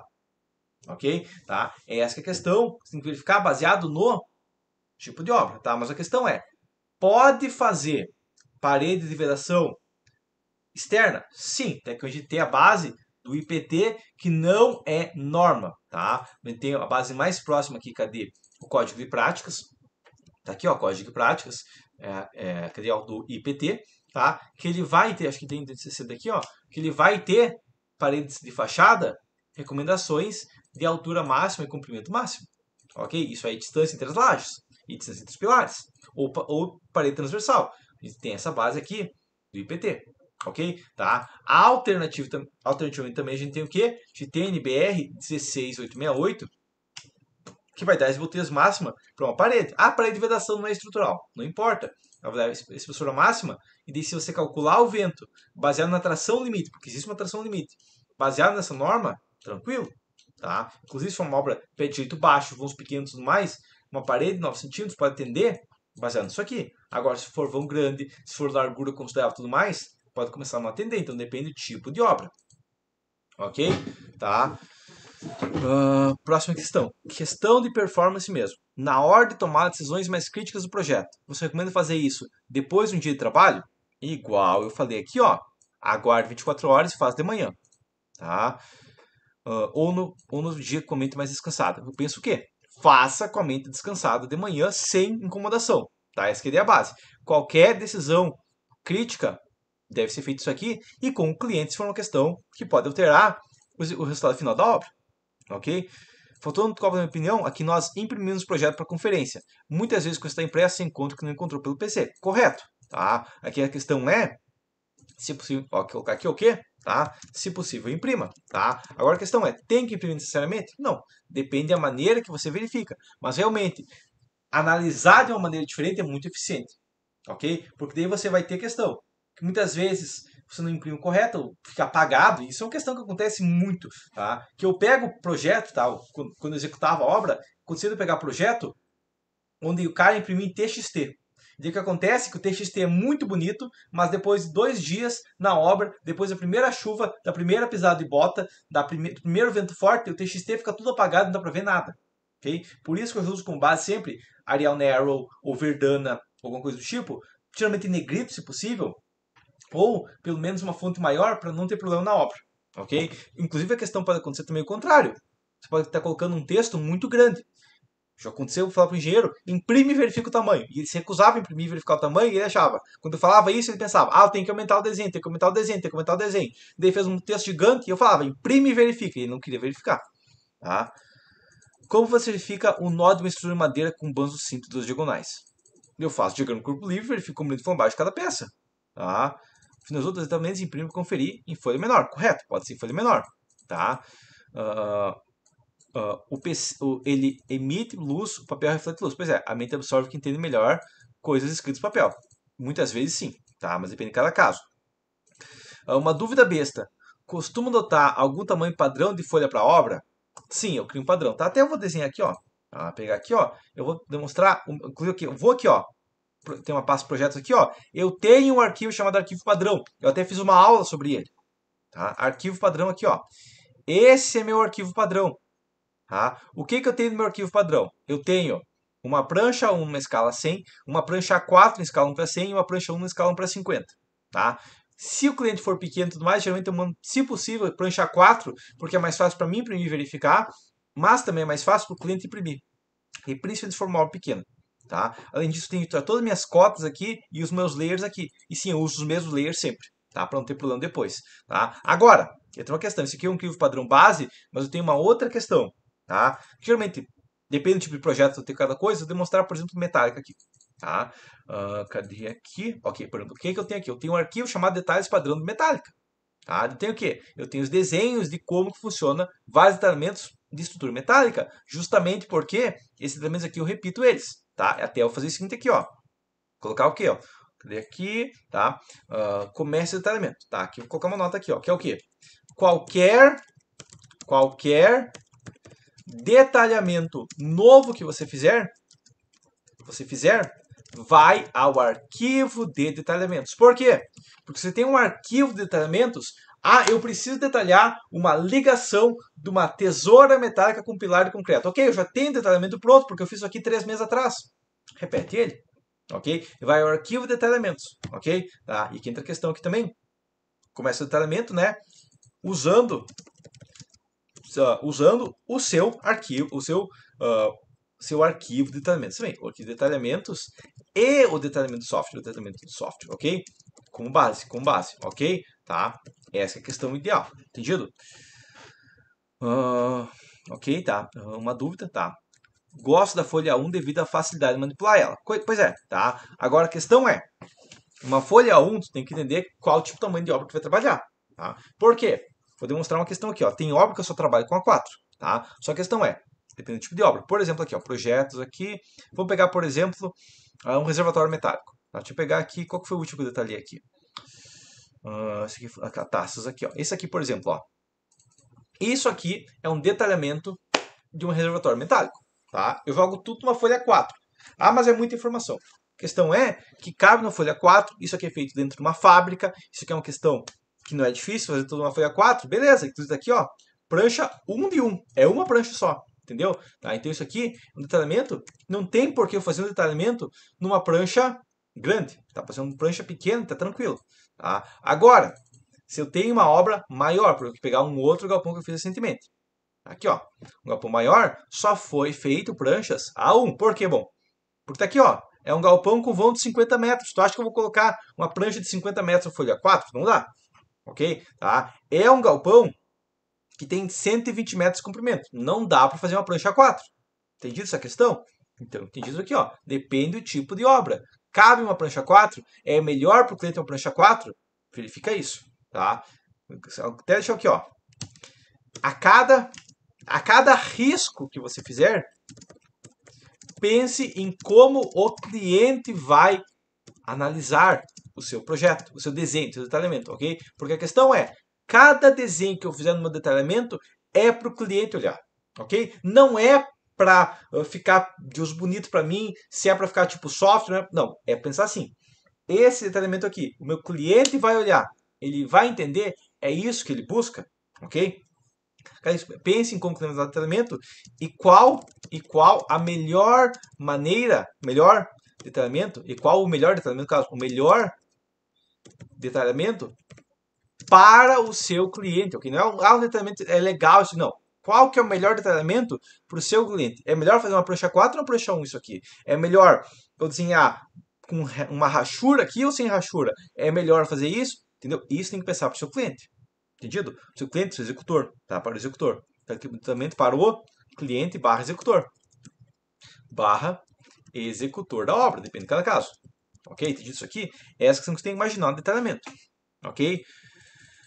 Uma dica para quem vai revisar é riscar com a opção comentar no Adobe Reader. Pois é, se você for trabalhar para revisar digamos, no computador, pode ser assim. Tá? Esse detalhamento se desenha linha por linha ou pega de um sketch exportado ou mesmo Revit? Não, eu faço, eu Gilberto, tá? Eu até pega o Sport do, do outro software, vou te mostrar aqui, ó. Vamos voltar para. Eu que pegar outro galpão aqui. Tá? Esse galpão aqui, por exemplo, deixa eu ficar se tem alguma ligação específica aqui, ó. Esse 3D aqui, ó, é, é, é linha de 30 graus, tá? Desenho isométrico padrão que a gente aprende em aula de desenho manual. Isso aqui tudo desenho isométrico manual dentro do CAD mesmo. Dá para fazer o detalhamento do sketch e tudo mais? Sim, dá. Inclusive, em alguns casos, eu utilizo. Vamos pegar outro caso aqui agora. Que é o quê? Eu não vou. Quando é uma coisa simples, eu vou desenhar. Mas a questão é, deixa eu pegar aqui. Você pegar do curso que eu lembro que eu fiz dois prints ainda. Cadê aqui? Aqui, ó. Tá? Demonstrar o que, que eu posso fazer, digamos, de aqui, detalhamento, ó. Isso é detalhamento que eu, digamos, trabalhei Aqui, ó. Tá? Um detalhamento aqui. Vou mostrar aqui, ó. Ó. Um 3D da obra, realmente, isso aqui, ó. Foi um print do, do CIP, mas poderia ter sido um print do SketchUp, tá? Mas a questão é, eu não vou desenhar sempre no SketchUp, sempre no AutoCAD, sempre no CIP, nada do tipo. O que eu vou fazer é, eu vou determinar qual que é o melhor detalhamento nesse caso, gerar o melhor resultado, entendido? Tá? E muitas vezes vai ser softwares diferentes, ok? É te perguntar, qual que é a melhor panela para cozinha? O que, que você quer fazer? Você vai usar uma frigideira para fazer feijão? Hum, não, você não vai usar uma frigideira para fazer feijão. Ok? Você não vai usar uma panela de pressão para fazer ovo frito. Então você tem que saber o que você vai usar para cada situação. Ok? Qual é a altura entre banzos? O limite é 2,5 metros, e meio, porque foi o meu limite para transportar essa obra. Ok? Mas tecnicamente poderia ser maior se fosse montado na obra. Ah, mas geralmente gente trabalhar no limite da obra. Por quê? Aqui entra outra questão. Inclusive, não é, é questão de revisão, é questão de uh, detalhamento também, mas é quando você pensa numa obra pré-fabricada, que pode ser tanto pré-moldada quanto, pré, ah, quanto metálico, você tem que pensar como que a obra vai ser feita. Então, ah, eles vão fazer a tesoura num galpão, eles vão colocar em cima de um caminhão, eles têm que, eles têm que transportar para colocar em cima do caminhão. Como que eles vão fazer isso? Beleza, tá em cima do caminhão. Cabe dentro do caminhão? Ok. Eles vão transportar essa tesoura, está 50 km, 100 km. Vão chegar na obra. Eles têm como tirar essa tesoura do lugar, eles têm como levantar essa tesoura, tudo isso a gente tem que pensar durante um detalhamento, ok? E software não detalha isso. Software não pergunta, não fala. Esse detalhamento não considera que o, o, caminhão do seu cliente tem só 8 metros de comprimento. Isso que não existe, tá? Uh, sobre os detalhamentos de vigas, você detalha todos os manuais? Depende com base, tá? Mas a questão básica que eu trabalho, deixa eu pegar um, pegar outro projeto aqui, tá? Que, que eu trabalho aqui é o seguinte, pegar aqui projetos concreto armado, porque depende do tipo de viga também, pode ser viga metálica. Deixa eu ver aqui detalhamento, tá? Ó, demonstrar, usa mesmo? Não, depende de cada caso, ó. Vamos pegar, por exemplo, esse detalhamento aqui, ó, esse aqui do ano passado, tá? Ó o que eu uso aqui, ó. Eu estou usando o detalhamento base do software, ok? Eu só aumento a escala e tudo mais, eu estou usando o detalhamento base do software, tá? Agora, vamos pegar outro detalhamento aqui, porque eu não uso só um detalhamento. Tá? Vou pegar um detalhamento aqui, deixa eu pegar últimos arquivos aqui. Ah, cadê os últimos arquivos aqui? Que estranho que não está aparecendo os últimos arquivos aqui. Aqui, ó. Vou pegar esse aqui, ó. Esse aqui, não sei se vai ter detalhamentos já. Ah, esse aqui não, esse aqui é de agosto ainda. Não. Aqui, ó, tá, ó. Esse aqui eu peguei o detalhamento base do software e ajustei. Entendido? Tá, ajustei a escala, tudo ajustei a fonte, tudo mais. Mas que ideia, tá? As lajes, detalhe separado, entendeu? Então a questão aqui é que o detalhe baseado em cada caso. Okay? Um padrão sempre. Tá? Como você detalha sapato de divisa com viga alavanca? Eu não uso viga alavanca das minhas obras. Eu uso a sapata T. Você tem dois vídeos sobre tanto o, o vídeo de uh, fundação de divisa, sapata de divisa sem viga de equilíbrio e o vídeo de sapata T. Eu uso uma sapata T e a minha viga de equilíbrio fica lá em cima. Ok? E daí detalhe com uma viga baldrame normal. Claro, com uma taxa de aço bem diferenciada e um tamanho também. Uh, Alex, o que você tem a dizer sobre assentamentos de alvenaria com argamassa polimérica? Tá? A questão é, é mais barato? Sim, é, realmente é um pouco mais barato e um pouco mais leve, porque a argamassa é um peso considerável da tua parede.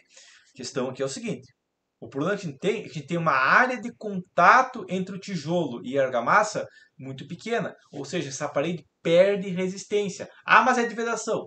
Ela ainda tem que existir vento, ela tem que existir o peso próprio dela. Então isso tem que ser verificado. A gente atualmente não tem ensaios sobre isso, mas a gente sabe com certeza que a gente perde resistência usando ela. Ok? Uh, Guilherme, já vi estaca pré-fabricada fissurar porque foi içada nos pontos errados. Correto? Tá? Inclusive a questão é, vou pegar aqui agora um outro exemplo. Tá? Deixa eu pegar aqui, cadê? Projetos pré-moldado aqui, ó. Deixa eu pegar algum detalhamento pré-moldado que eu fiz aqui recentemente. Ué. Ah, geralmente detalhe com, com met... Vamos pegar um. Posso pegar aqui também do, do curso pré-moldado também, porque geralmente pré-moldado de metálico, como eu tenho um estagiário, quando eu uma, uma obra de pré, pilar pré-moldado de tesouro metálico, às vezes coloca em um lugar, às vezes coloca em outro, não tem que caçar isso aqui. Mas a questão é, deixa eu pegar aqui um detalhamento aqui, ó. Por exemplo, aqui, ó. Esse é o detalhamento de um pilar pré-moldado, ó. Detalhe, o gancho. Ok? O gancho é uma parte essencial. A profundidade do gancho, o diâmetro do gancho e tudo mais, está aqui junto. Por quê? Porque assim não tem o risco de, na obra, eles não saberem onde está. Onde que vai estar? Onde está o gancho. Onde que vai ficar o gancho? Onde está cotado aqui, ó. Vai ficar 1,25m aqui e 1,70m aqui. Pode ser diferente? Não. Tem que ser isso. Ok? Essa é a questão, porque eu vou detalhes aqui com base. Tá? Qual a sua opinião sobre arrimos de até 2 metros? Eu tenho a mesma opinião sobre arrimo de 2 metros que eu tenho a opinião sobre arrimo de 3 metros, arrimo de 4 metros, arrimo de 5 metros. Ok? Eu não tenho uma opinião específica baseada na altura de um arrimo. Ok? A opinião do arrimo é baseada no dimensionamento dele. Tá? Com tijolo cerâmico deitado, se for um tijolo que você dimensionou para flexão, ok. Só que ninguém faz isso. Todo mundo faz de qualquer jeito, ignora a flexão e diz que é fechamento do arrimo. Daí não dá certo. Tá? Para um arrimo funcionar, ele tem que ser dimensionado, baseado na rigidez de cada elemento e garantindo que todo elemento resista às cargas. Ok? E o problema é, as pessoas que fazem essas maluquices aí de arrimo com tijolo deitado, muitas vezes faz o cálculo todo chutado, vocês nem fazem cálculo, às vezes é só de qualquer jeito, geralmente faz assim, fica de pé, e daí dá problema. Ok? E a questão é, além de ser um método que, digamos, não vai funcionar adequadamente quando você realmente dimensionar, que tem vários muros aí na, pelo mundo falhando, tá? com vários vídeos aí que está circulando pelo WhatsApp, de muros falhando assim, e também tem a questão que metade dos elementos dele nem tem função. As vigas, por exemplo, nem tem função estrutural. Por quê? Porque a carga vir muitas vezes direto para o pilar, porque o pilar tem rigidez e a viga não. Ok? Ou se o pilar não tem rigidez, a carga vai descer igual e pouco importa o pilar. Ok? Na minha região, se mandar um muro com bloco concreto, o engenheiro é visto como doido. Eu sou visto como doido. Tá? Inclusive a questão é, eu, eu também estou em Água Boa, aqui na minha região, eles falam, o Gilberto é doido e o Mário Marcelo, que é um outro engenheiro, talvez tenha até na live agora, também é doido. Mas segue o projeto porque entende que é coisa. Ele é doido, mas ele entende. A questão é que, geralmente, quem trabalha muito com número é meio doido mesmo. Não é problema. Tá? Quero um curso pré-moldado completo seu. É só você acessar meu site, clicar em cursos e comprar meu curso. Ok? Tem muitos pedreiros youtuber que usam cimento cola C3 para assentamento de alvenaria. É comparável com argamassa polimérica? Comparável em que sentido? É diferente. Ok? Tá? O AC3 tem uma resistência maior. Tá? É um jeito mais fácil de fazer, mas tem um custo maior também. Então você tem que verificar, não só na questão de singularidade, tem que verificar ensaios realmente foram feitos com paredes desse tipo. Ok? Uh, estamos juntos. Pois é, Eduardo, a questão é que eu, eu já ouvi várias vezes o Mário e o Marcelo, se ele chegar na obra e falar para fazer do jeito que ele vai fazer, ou tu faz, ou tu é mandado embora, porque ele vai te forçar a fazer, porque tem que fazer, porque ele é um engenheiro. E é isso que eu espero. Tá? Eu não espero que os pedreiros falem, nossa, o Gilberto é um cara legal, o Gilberto, eu vou chamar ele para comer um churrasco. Não, o que eu espero é fazer, falar assim, o Gilberto é um cara chato, que se, eu, se não fizer o que ele mandou, eu vou, ter, vou me incomodar, então é melhor fazer o que ele mandou. É isso que eu espero. Tá? Estrubim. Li no comentário seu. Estrubim. Eu falei Estrubim? Num comentário meu? Pera aí. Vamos pegar um comentário meu que eu falei Estrubim. Comentários. Beleza. Não, aqui pensar todos os comentários. Estrubim. Em todos os comentários. Tá? Ah, sim, eu não trabalho com Estrubim. O que, que foi? Uma pessoa chegou para mim e perguntou de Estrubim. Tá? Depois até, ó, uh, Estrubibar, tá? A questão é, eu não trabalho. Tá? Eu não, eu não uso bem, nenhum tipo, né? A pessoa pode ter apagado o comentário, a questão é, tá? Mas eu não uso, eu uso basicamente o tratamento meu, tá? Eu, realmente eu não sei o que é Strubin porque eu não uso ele, tá? Voltando na parede de de vedação com força horizontal, tá? Com um vento de 75 kg por metro quadrado e um pano de 2,60 cobertura de janela, tá? Agora a questão é, com abertura de janela, você vai reduzir as cargas bem no centro, ok? Lembra que se você for fazer uma abertura numa laje maciça, o melhor lugar é no meio. Por quê? Porque você reduz as cargas no meio. Ok? Lembra da flexão diagonal. A maior parte de uma peça com flexão bidirecional é na diagonal e não em XY. Ok? Uh, como verificar a resistência desse bloco se não tem norma? Tem norma, NBR 16868 fala da resistência, da, para calcular os esforços, ok? Agora para saltar, sair da target.com.br aqui, ó, tá? Vou pegar aqui, ó, pesar bloco de vedação, tá? Bloco de vedação, bloco de vedação, e vai aparecer norma, tá? Bloco de gesso não é o que eu quero aqui, vamos pegar, tijolo, uh, norma, NBR, tá? Norma, vou pegar a norma aqui também, tá? Tem norma sobre tijolo, ó, NBR tem um 70 no tijolo cerâmico, uh, tijolo vazado, uh, furado, tijolo furado aqui, ó, profinaria, tá? Ó, que tem tijolo aqui, na verdade eu posso fazer o seguinte aqui, ó, 15270 também tem, tá? Então, ela não tem norma, com certeza tem norma, tá? Qualquer coisa vai ter norma, deixa eu ver aqui, PDFs, normas, deixa eu pegar a NBR 545 porque ela vai indicar outras normas. Cadê aqui? Tijolo, bloco cerâmico alvenaria, NBR 7171.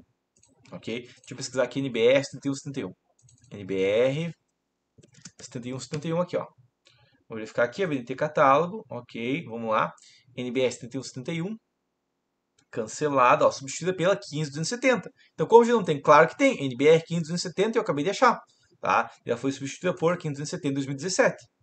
Tá aqui, ó. NBR 570 é uma norma, pegar aqui, ó. 570 é a norma sobre, cadê aqui, ó? Componentes cerâmicos, blocos de tijolos para alvenaria. Como que não tem? Tá aqui. Tá? Então tem sim, tá aqui. Tá?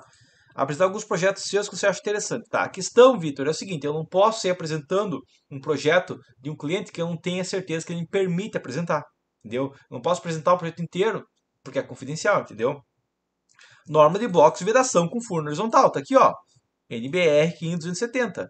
Cadê aqui, ó? Ela é item 1, parte 1, requisitos. Tá aqui, ó. Tá? Métodos de ensaios de blocos. Tá aqui, ó. Tá aqui, blocos de vedação. Vamos pegar aqui, ó. Então, sim, nós temos sim uma norma. Ok? Tá? Nessa 570. A gente tem sim uma norma específica sobre isso. Tá? Se tu não tem, é porque tu não pesquisou essa norma.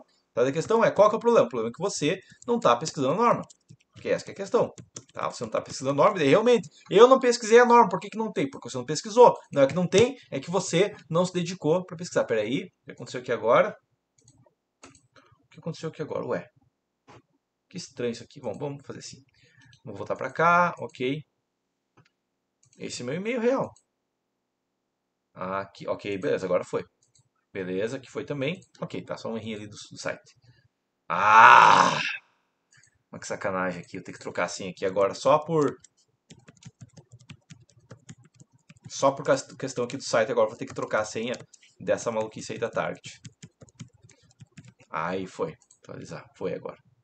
Ah, meu Deus do céu, deixa aqui então também. Tá, mas tem a norma sim. Tu viu a norma aqui, eu abri a norma aqui. Tá? Só não consegui abrir a norma porque vai pedir para mudar a senha. Eu tenho que ajustar a senha aqui. Tá? Pacote de todos os cursos, poderia aumentar o prazo de uso? Tá, a questão é, eu posso colocar renovação junto no preço, vai aumentar o preço, ok? Norma de fabricação de bloco. Sim, tem. Tem a norma aqui e ela fala quais os requisitos, tá? Métodos de ensaio. Ensaio o quê? Parte dos requisitos aqui, ó. Tá? Talvez se pesquisar separado aqui, eu acho a norma aqui, porque eu tenho a target, mas a target fica me, me cobrando aqui para para pesquisar aqui.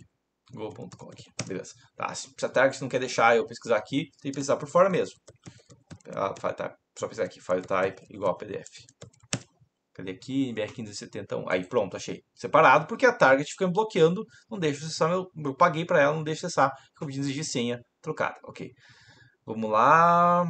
Hum, aqui, ó. Tá, mas tem to tolerâncias aqui, requisitos, tem tudo aqui. Essa é a questão. Tem sim norma. Basicamente tem norma para tudo na engenharia. Como que não vai ter norma para uma questão base da engenharia?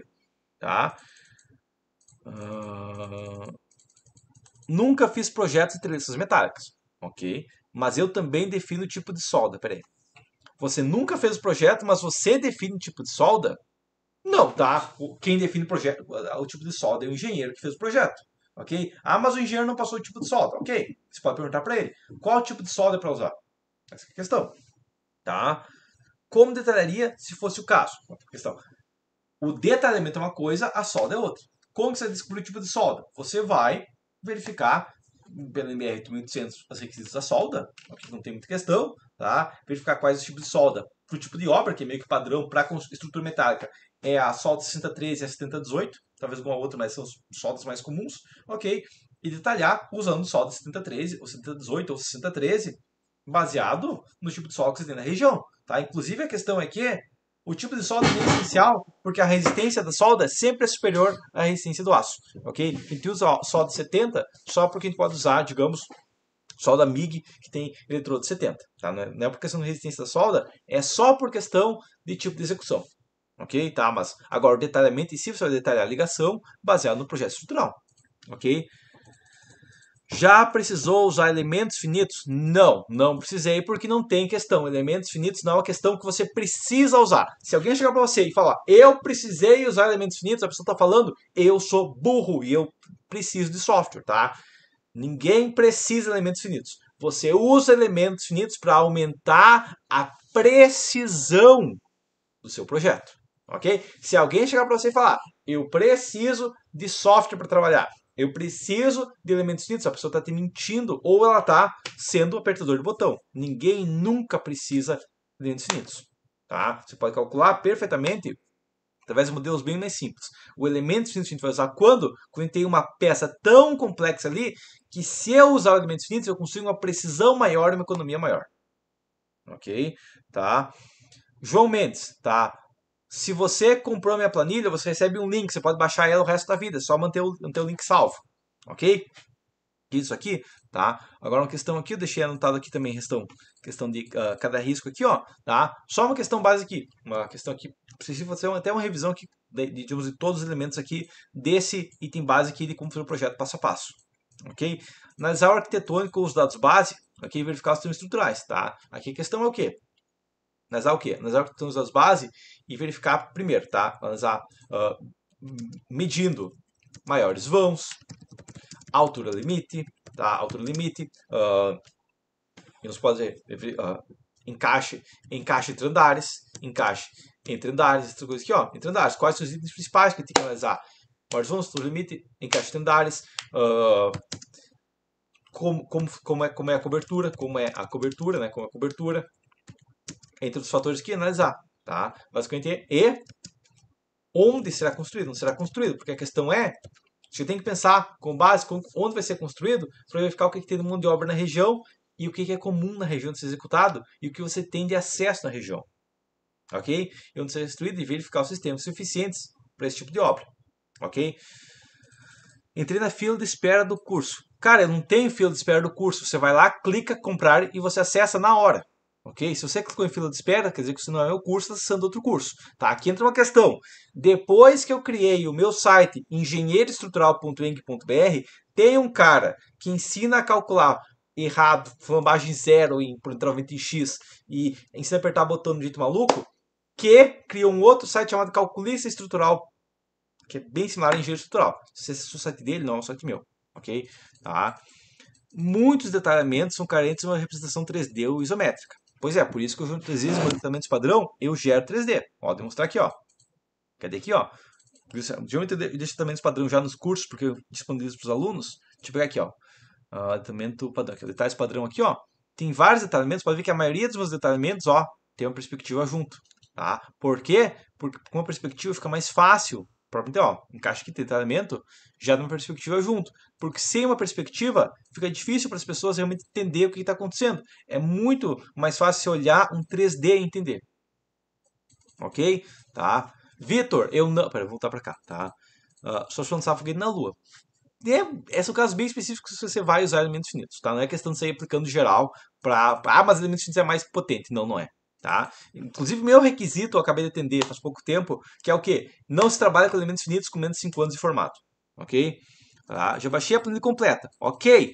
João Mendes, você recebeu um link para baixar a planilha. Se você clicar no link que você já recebeu, você pode baixá-la novamente. E daí vai estar atualizada. Tá? Eu quero o modelo atualizado, então você usar o link e baixar novamente.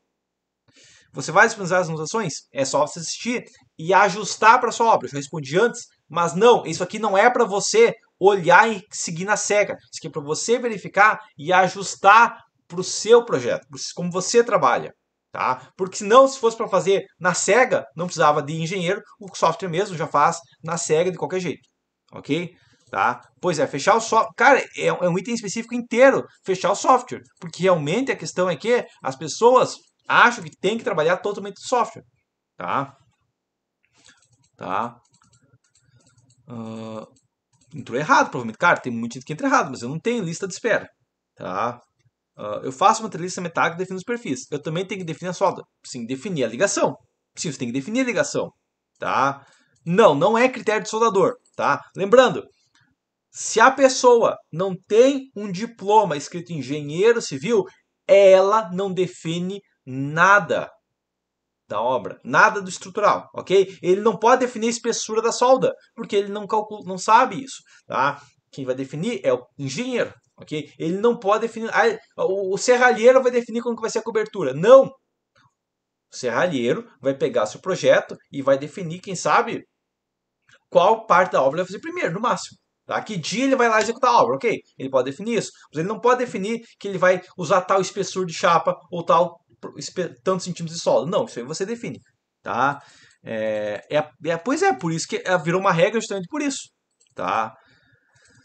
Você projeta contenções de estacas descontínuas de concreto? Eu já projetei parede, uns destaca, cortina de estacas, já projetei.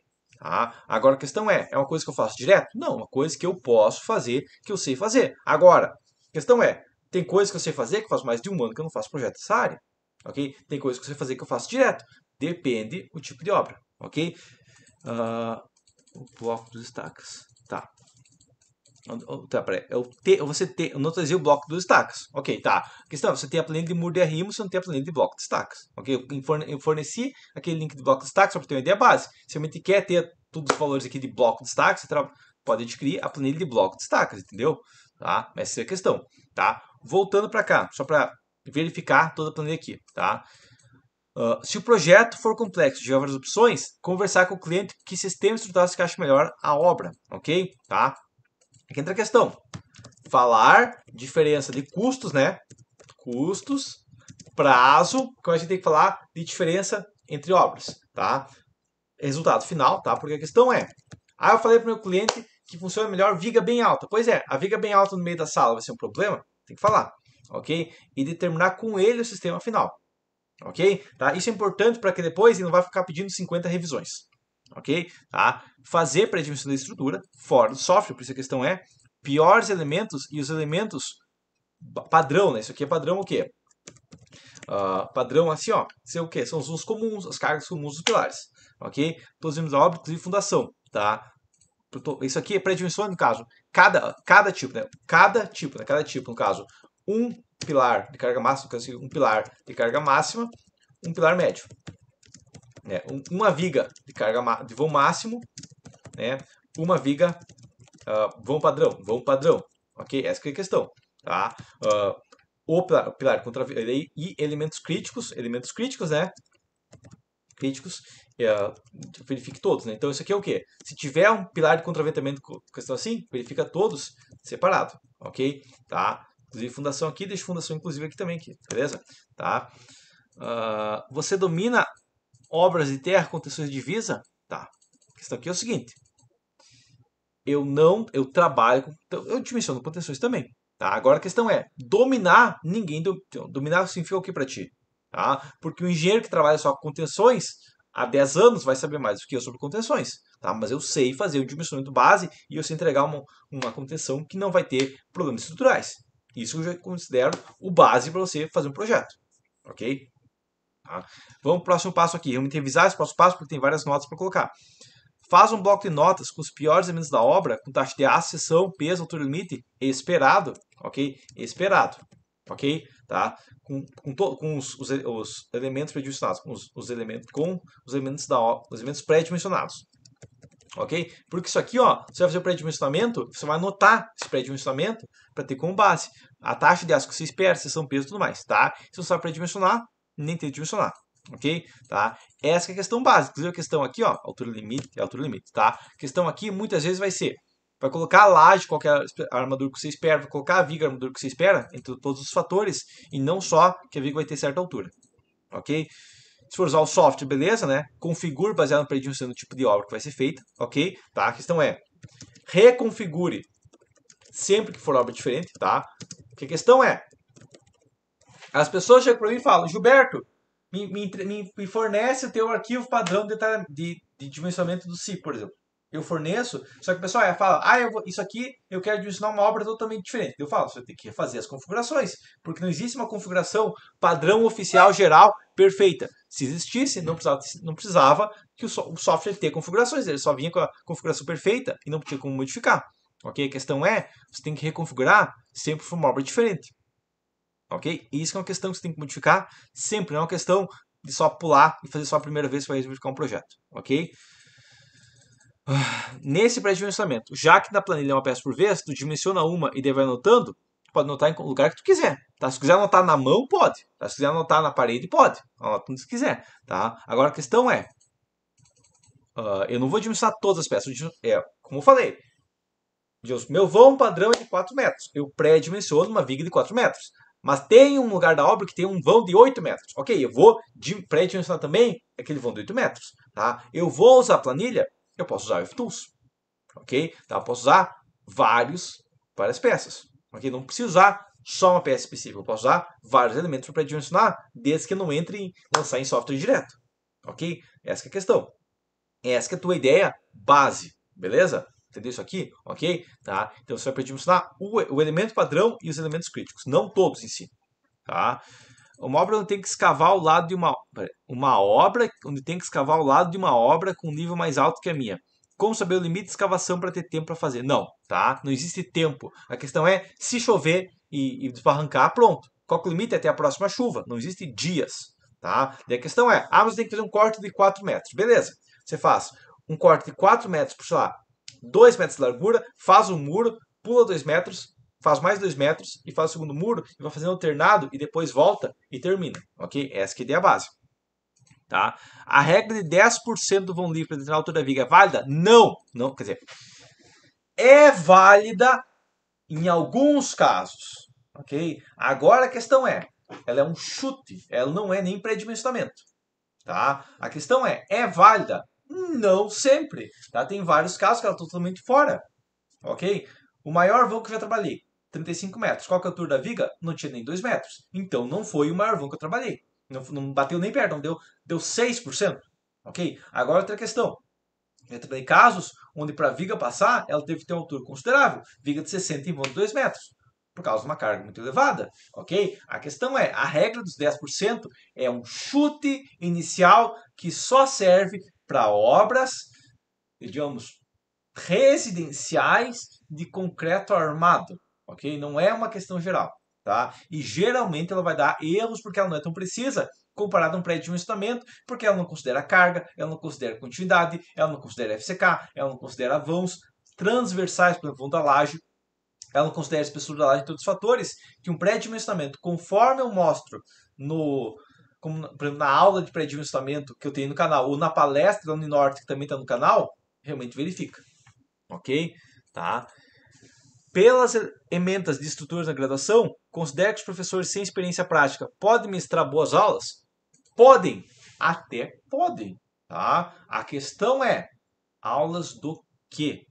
Tá? Essa é a questão.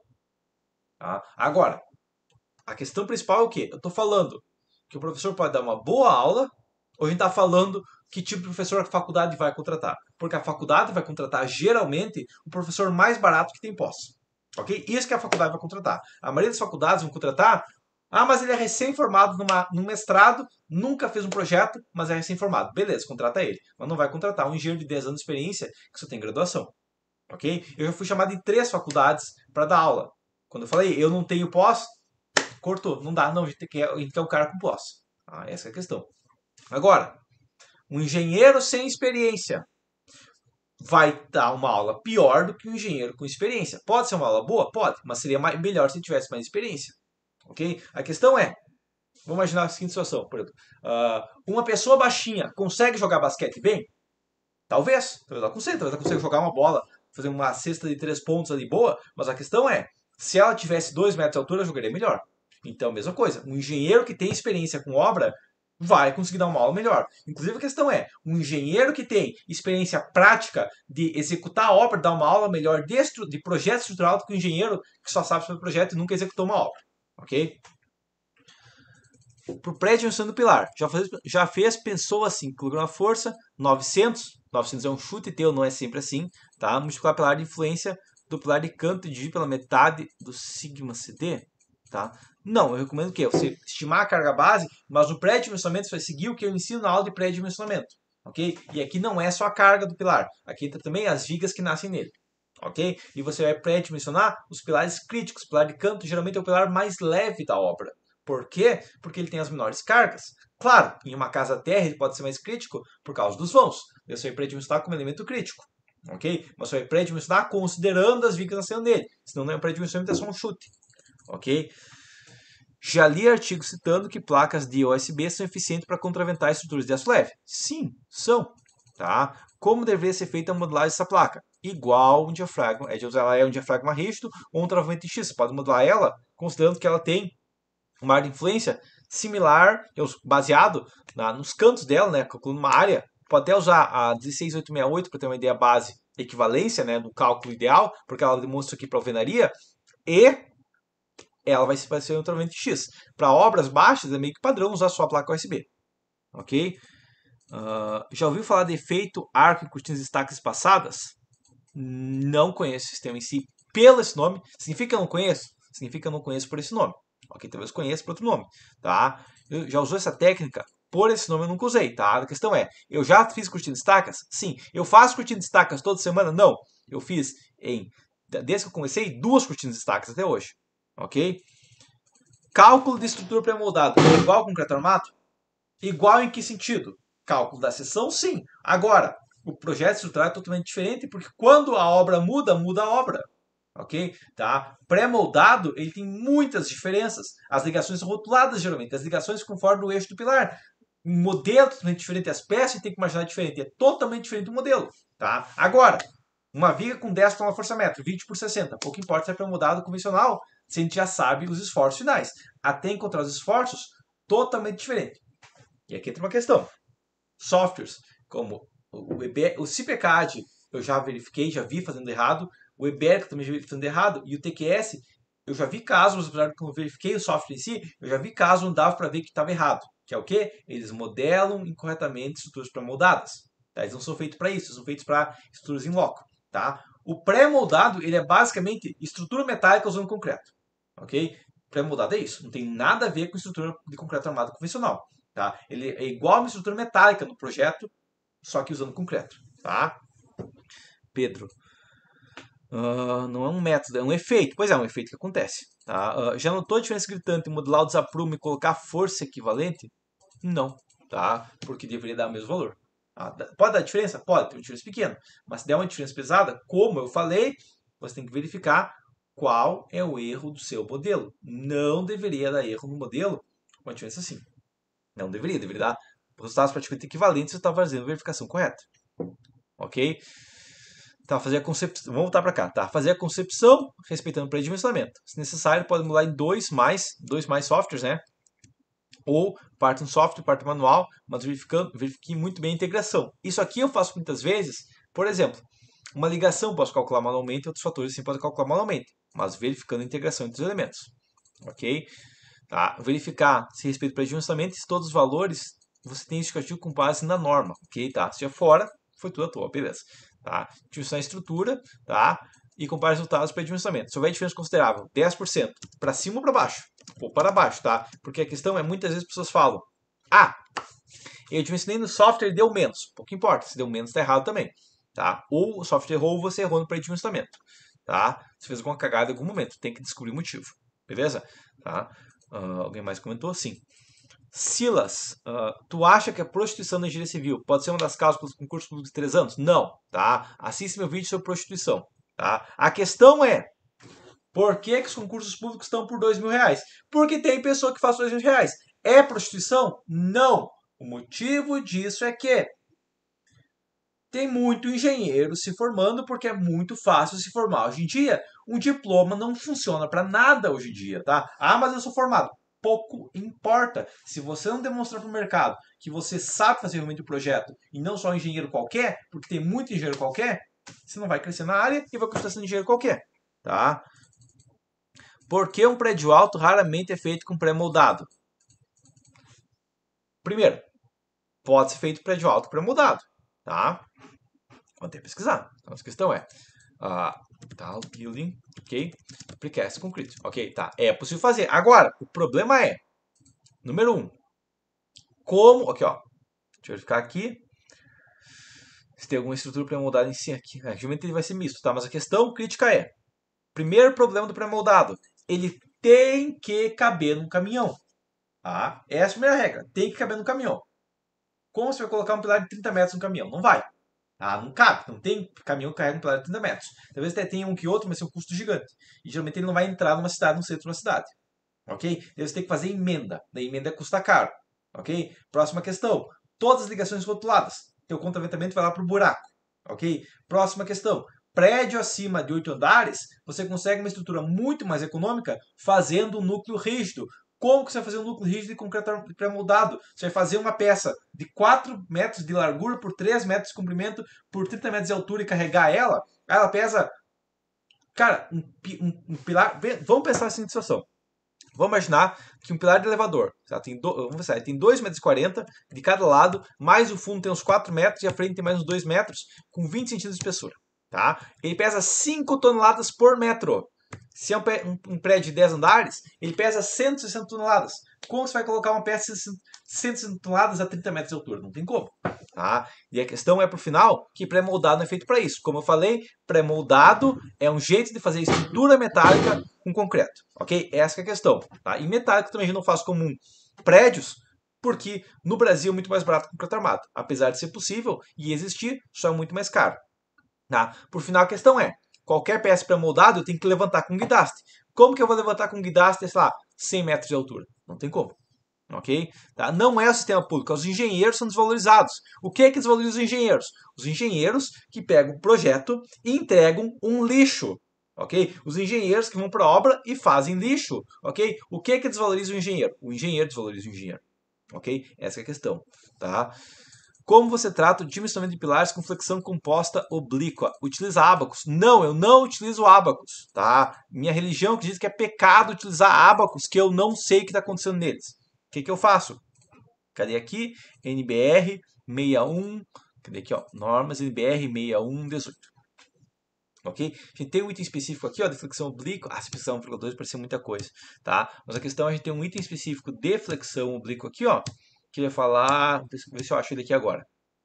Não é sondar que eu quero, mas ele tem um item específico justamente sobre flexão oblíqua, que a gente vai calcular para os dois eixos e fazer uma curva de 1.2 aqui. Cadê aqui? Não, é aqui que eu quero. Ué, onde é que está? Aqui, ó, exatamente isso aqui, ó, tá? Esse aqui, ó, esse processo aproximado, tá? Que gente vai usar esse coeficiente de 1.2 aqui, ó, nessa fórmula aqui, e basicamente é isso, tá? Não permite isso, tá? É uma simplificação? É, mas é muito próximo da realidade, então não é um problema. Beleza? Tá? Se eu usar essa fórmula aqui da NBR 1018, tá baseado em norma, não é o ideal, o ideal seria basear em resistências materiais, mas está muito próximo da realidade, então uso isso. Ok? Tá? Em obras com terreno inclinado, com certa parede de empuxo de solo, como verificar o esforço axial em laje? Baseado na, do, calcula o muro e verifica as reações dele. Ok? Faz o modelo completo e verifica as reações do muro na laje. Tá? Esse pré-dimensionamento tem uma estaca, por exemplo. Tá? Não tem, cara, são normatizados sim, tá? São normatizados sim. Tá? Cadê aqui, ó? NBR 6122. Cadê aqui, ó? Métodos semi-empíricos. OK? A norma fala de métodos semi-empíricos, tá? tá? Aqui a questão, ó. Resistência determinada por método semi-empírico. Tá aqui, ó. A norma permite usar qualquer método semi-empírico. Ele é um método semi-empírico. OK? Tá? Que são os ensaios com tensões admissíveis ok? Tá? A norma permite usar assim, não é no naturalizado, tá? Desde que você use o coeficiente de segurança, ok, tá? Agora, o que, que eu recomendo é, se quer precisão maior, usa todos e faz uma média, ok? Tá. O efeito de flambagem vai ser baseado na carga, ok? Mas a questão é, a laje vai servir como, como os tirantes e as vigas vai usar como bielas, Ok? Isso que você vai usar. E de as vigas trabalhando com alturas adequadas, a compressão vai ser pequena em relação ao global. Tá? Essa é a questão base. Não é tão crítico assim. Tá? Mas sim, você tem que verificar isso aqui. Isso vai ser crítico, por exemplo, em uma laje plana de um subsolo. Aí pode ser crítico. Tá? Mas a questão base é, se for vigas altas e tudo mais, você até pode verificar a viga na compressão, mas é um efeito que pode ser benéfico. Tá? Mas a questão é que a laje, você vai imaginar como elemento que distribui tração no máximo. Tá? O que distribui compressão é as vigas, que tem inércia, que tem rigidez. Ok? lembra que a, a carga vai para os pontos de maior rigidez. Beleza? Tá? Vamos continuar aqui. Uh, se for projeto complexo, enviar ao cliente a concepção e pedir a aprovação dele. Ok? Aqui entra uma questão. Tá? Até, até vou deixar um 9 aqui, mas a questão é. Aqui ó, a gente vai falar o quê? Avisar ao cliente, né? Avisar, avisar ao cliente o limite, o, o cliente, o limite de revisões que ele tem direito, ok? E isso é uma questão que eu criei recentemente, porque eu tive uma cliente que me pediu para fazer uma escada e dela mudou de ideia, dela mudou de ideia, dela trocou a escada, dela mudou de ideia de novo e foi mudando de ideia e eu tive que falar para ela que eu ia cobrar de novo porque ela me passou um projeto que não detalhava nada e eu fiz conforme o projeto que ela queria e depois ela foi pedindo para mudar, para mudar e uma hora ela chegou para mim e falou já faz uma, uns três desenhos aí de escada diferente e daí eu vou olhar os três e vou achar qual que eu acho mais bonito. Daí eu falei, eu não sou arquiteto, eu sou engenheiro, falo com o arquiteto aí, define a escada e daí me passa o projeto. Porque realmente avisar o cliente o limite de revisões é muito vai te facilitar de não ficar pedindo 20 revisões depois. Ok? Geralmente, fazemos uma revisão, tranquilo, passou disso, vai ter um custo adicional e, e o custo adicional, né? O, o, limite de revisões aqui, ó. Ele tem direito e custo adicional, adicional após isso. Ok? Essa é a questão que você vai usar o cliente. Ok? Já dimensionou tubo de concreto para obras hidráulicas? Diz, diz os ah, esse nome. Manilha? Sim, já te mencionei. Tá? Uh, poderia considerar ajustar aquela sua planilha? Claro, você pode fazer ela. Agora, a questão é, eu uso o Berberian porque ele é o que tem maior quantidade de dados. Ok? E o Berberian vai dar uma média. Geralmente você vai fazer por vários métodos e o Berberian vai dar a média, entendeu? Então, não é tão crítico fazer de uma planilha vai chegar aos resultados próximos. Tá? Mas a questão base é, dá para fazer um ajuste dela para calcular várias maneiras. Tá? Como se calcula o deslocamento dessa laje? Através, calcula, a, cal, de, modela a grelha e calcula a rigidez dela, ok? Tá? Essa é a questão, tu tem que fazer um modelo global da estrutura, tá? O efeito da fissuração, tá? A questão é baseado na taxa de aço que tu tem. Tá? Isso aqui tem na norma, tu tem que fazer todo o cálculo, faz o modelo e tenta calcular. Tá? Não é que agora eu vou entrar, vou demonstrar um cálculo inteiro para ti, porque você não tentou calcular. Não, tenta calcular.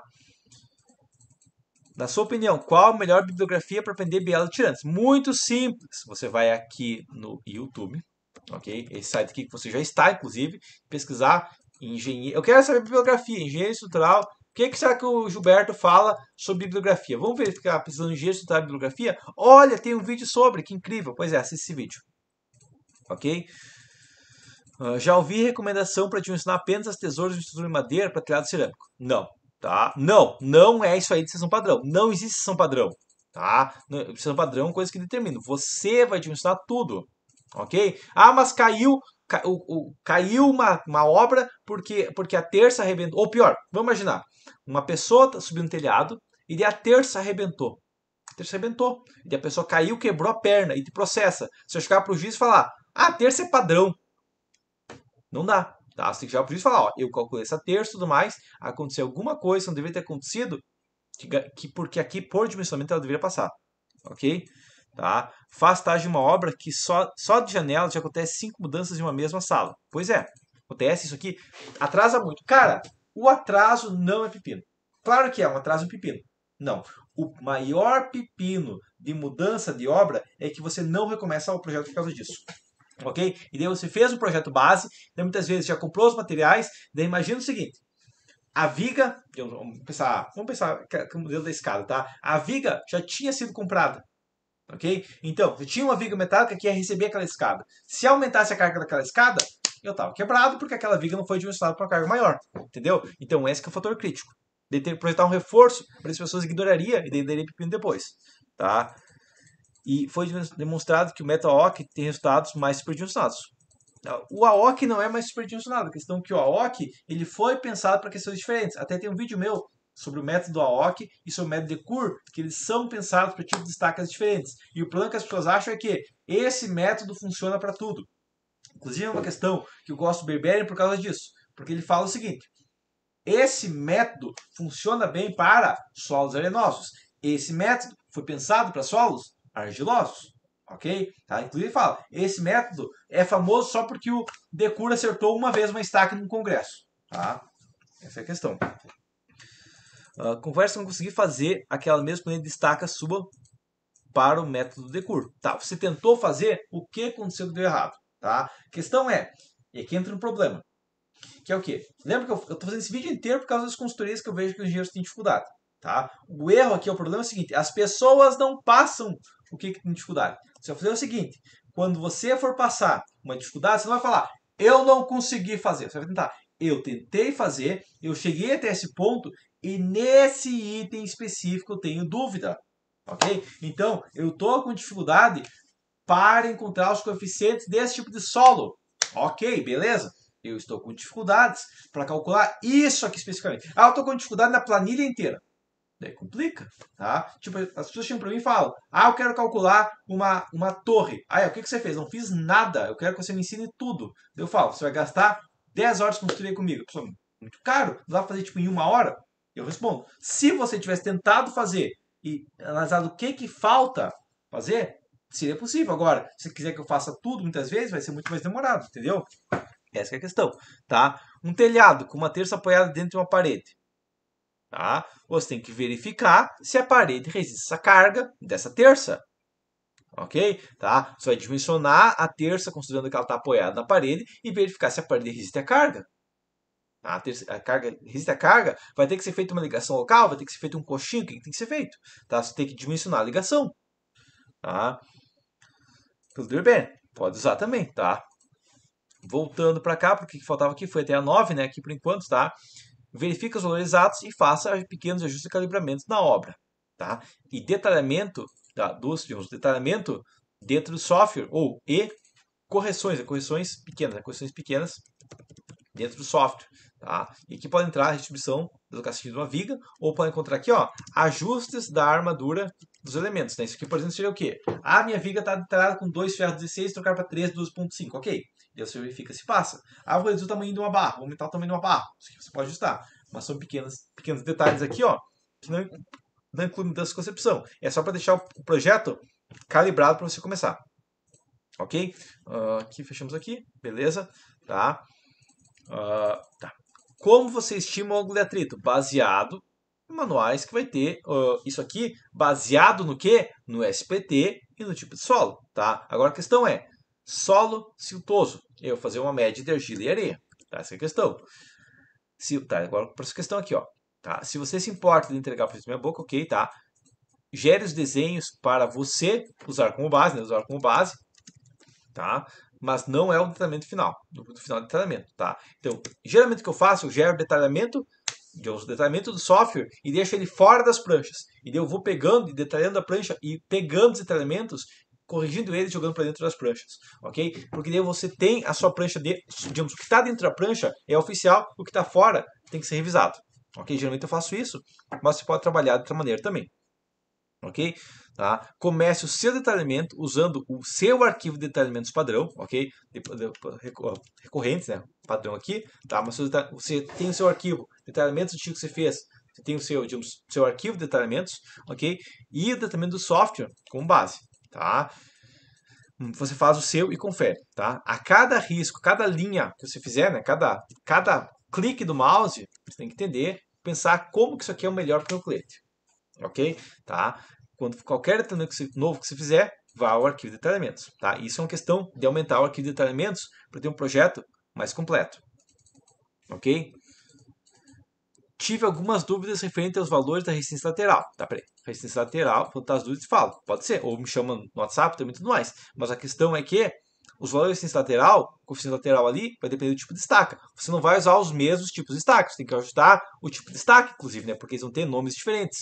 Tá? Inclusive a questão é, Decur e AOC é, é, não, tinha nem, não tinha nem NBR antiga de fundações ainda, é métodos mais antigos ainda.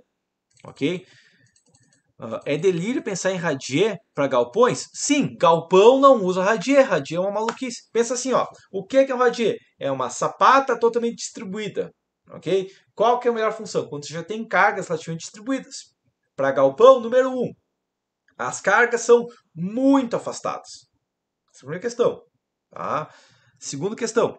Tá?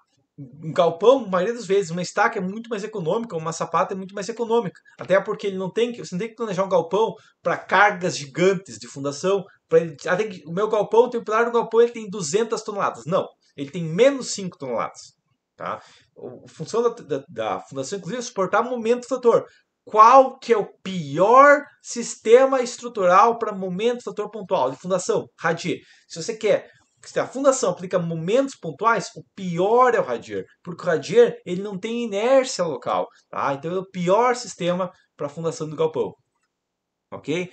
Uh, dificuldade de acesso e costão, faz sapata, tá? Como funciona uma fundação de sapata corrida em um canto em L, tá? Basicamente a questão é, uma sapata corrida o L, um lado vai já torção no outro e eles vão se equilibrar assim ok? Mas basicamente você fazer um modelo aqui, se, claro, se a sapata for centrada não tem problema, mas se for excêntrica, um lado equilibra o outro pela torção, ok? Daí você tem que direcionar a viga para torção. Uh, Fear Sync. Uh, na parte de detalhamento, é de extrema importância enviar os projetos em escala perfeita? Não. Tá? Inclusive uma questão. Temos que pegar um... Ah, aqui, ó. Tá, tá vendo os detalhamentos? Tá vendo a escala aqui, ó? Não, eu não coloco escala. Eu não coloco escala nos projetos. Tá? Por quê? Porque hoje em dia ninguém vai medir na obra o tamanho de uma peça. Ele vai me ligar e perguntar, ou mandar uma mensagem e perguntar qual é o tamanho exato. Você esqueceu de cotar a distância dessa barra. Qual é a distância? E eu vou dizer, ok? Mas a questão é, não, não usa. Hoje em dia escalinho e tudo mais, eu nem coloco escala justamente por isso. Tá? Eu desenho escala, mas eu não coloco a escala que eu desenho para evitar de alguém sair medindo na obra e quem sabe medir errado ok? Eu não desenho em escala, tá? Se a pessoa está com dificuldade falta alguma coisa, eu peço que me chame no WhatsApp e mande uma dúvida, ok? E recomendo é cuida as cotas, não a escala, ok? Já projetou uma sola em solo? Cara, já projetei dezenas de obras em solo ruim. Precisou tratar, substituir o solo? Tá. Qualquer solo ruim vai ser expansivo ou, ou expansivo ou ah, o contrário, né? Colapsível, tá? Agora, já tive vários solos ruins co coesivos, com certeza. A argila é muito comum. Ok? Tá? Essa é a questão. Agora, toda, toda argila é coesiva no caso, tá? Mas a questão é, não precisa substituir solo em nenhum caso até agora, porque ao invés disso eu uso estaca. Pronto, estaca é a solução mágica para solo ruim. Ok? Você usa pilar em L? Guilherme, essa pergunta é extremamente vaga. Tá? Porque não é eu uso pilar em L, calma, é quando eu uso pilar em L tá? Porque eu não tenho uma restrição de que eu não uso Plariel, tá? Eu não tenho, ah, eu minha minha religião proíbe usar Plariel. Não, tá? Quando que eu vou usar um Plariel? Essa que é a pergunta crítica. Quando que o Plariel, quando que eu vou usar? Quando o Plariel é mais econômico. Quando que o L é mais econômico? Quando tenho uma carga considerável, eu tenho que fazer o pilar embutido. E Uh, o pilar em L, eu sei que vai dar uma taxa de aço pequena, tá? Se o pilar, se o pilar retangular vai dar mais que 10 barras de 10, ou coisa do tipo, e eu tenho que fazer embutido, o pilar em L é mais eficiente.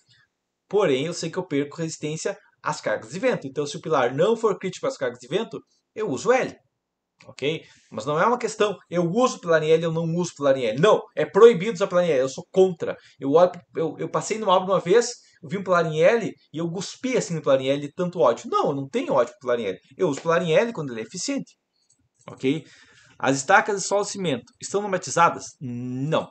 Tá? Mas a questão é, a gente pode fazer um ensaio do solo cimento e verificar a resistência dele. Ok? Desde que seja compressão pura ou momentos extremamente pequenos, não é problema, desde que seja uma carga pequena. Ok? Quais tamanhos de prancha você geralmente trabalha? Igual demonstrei antes no meu arquivo padrão, eu trabalho com uma prancha A1, tá? que a maioria dos lugares você consegue imprimir numa gráfica, e se não tiver gráfica, eu também trabalho na prancha A4. Aí A3 e A2, dificilmente eu trabalho. Por quê? Porque eu trabalho com a A4, que é a minha prancha, para pequeno porte, e a A1, que é para grande porte. Ok? Se a pessoa vai ter que se dar o trabalho de uma gráfica, já imprimi a A1 de uma vez. Ok? Essa é a minha ideia base. Tá?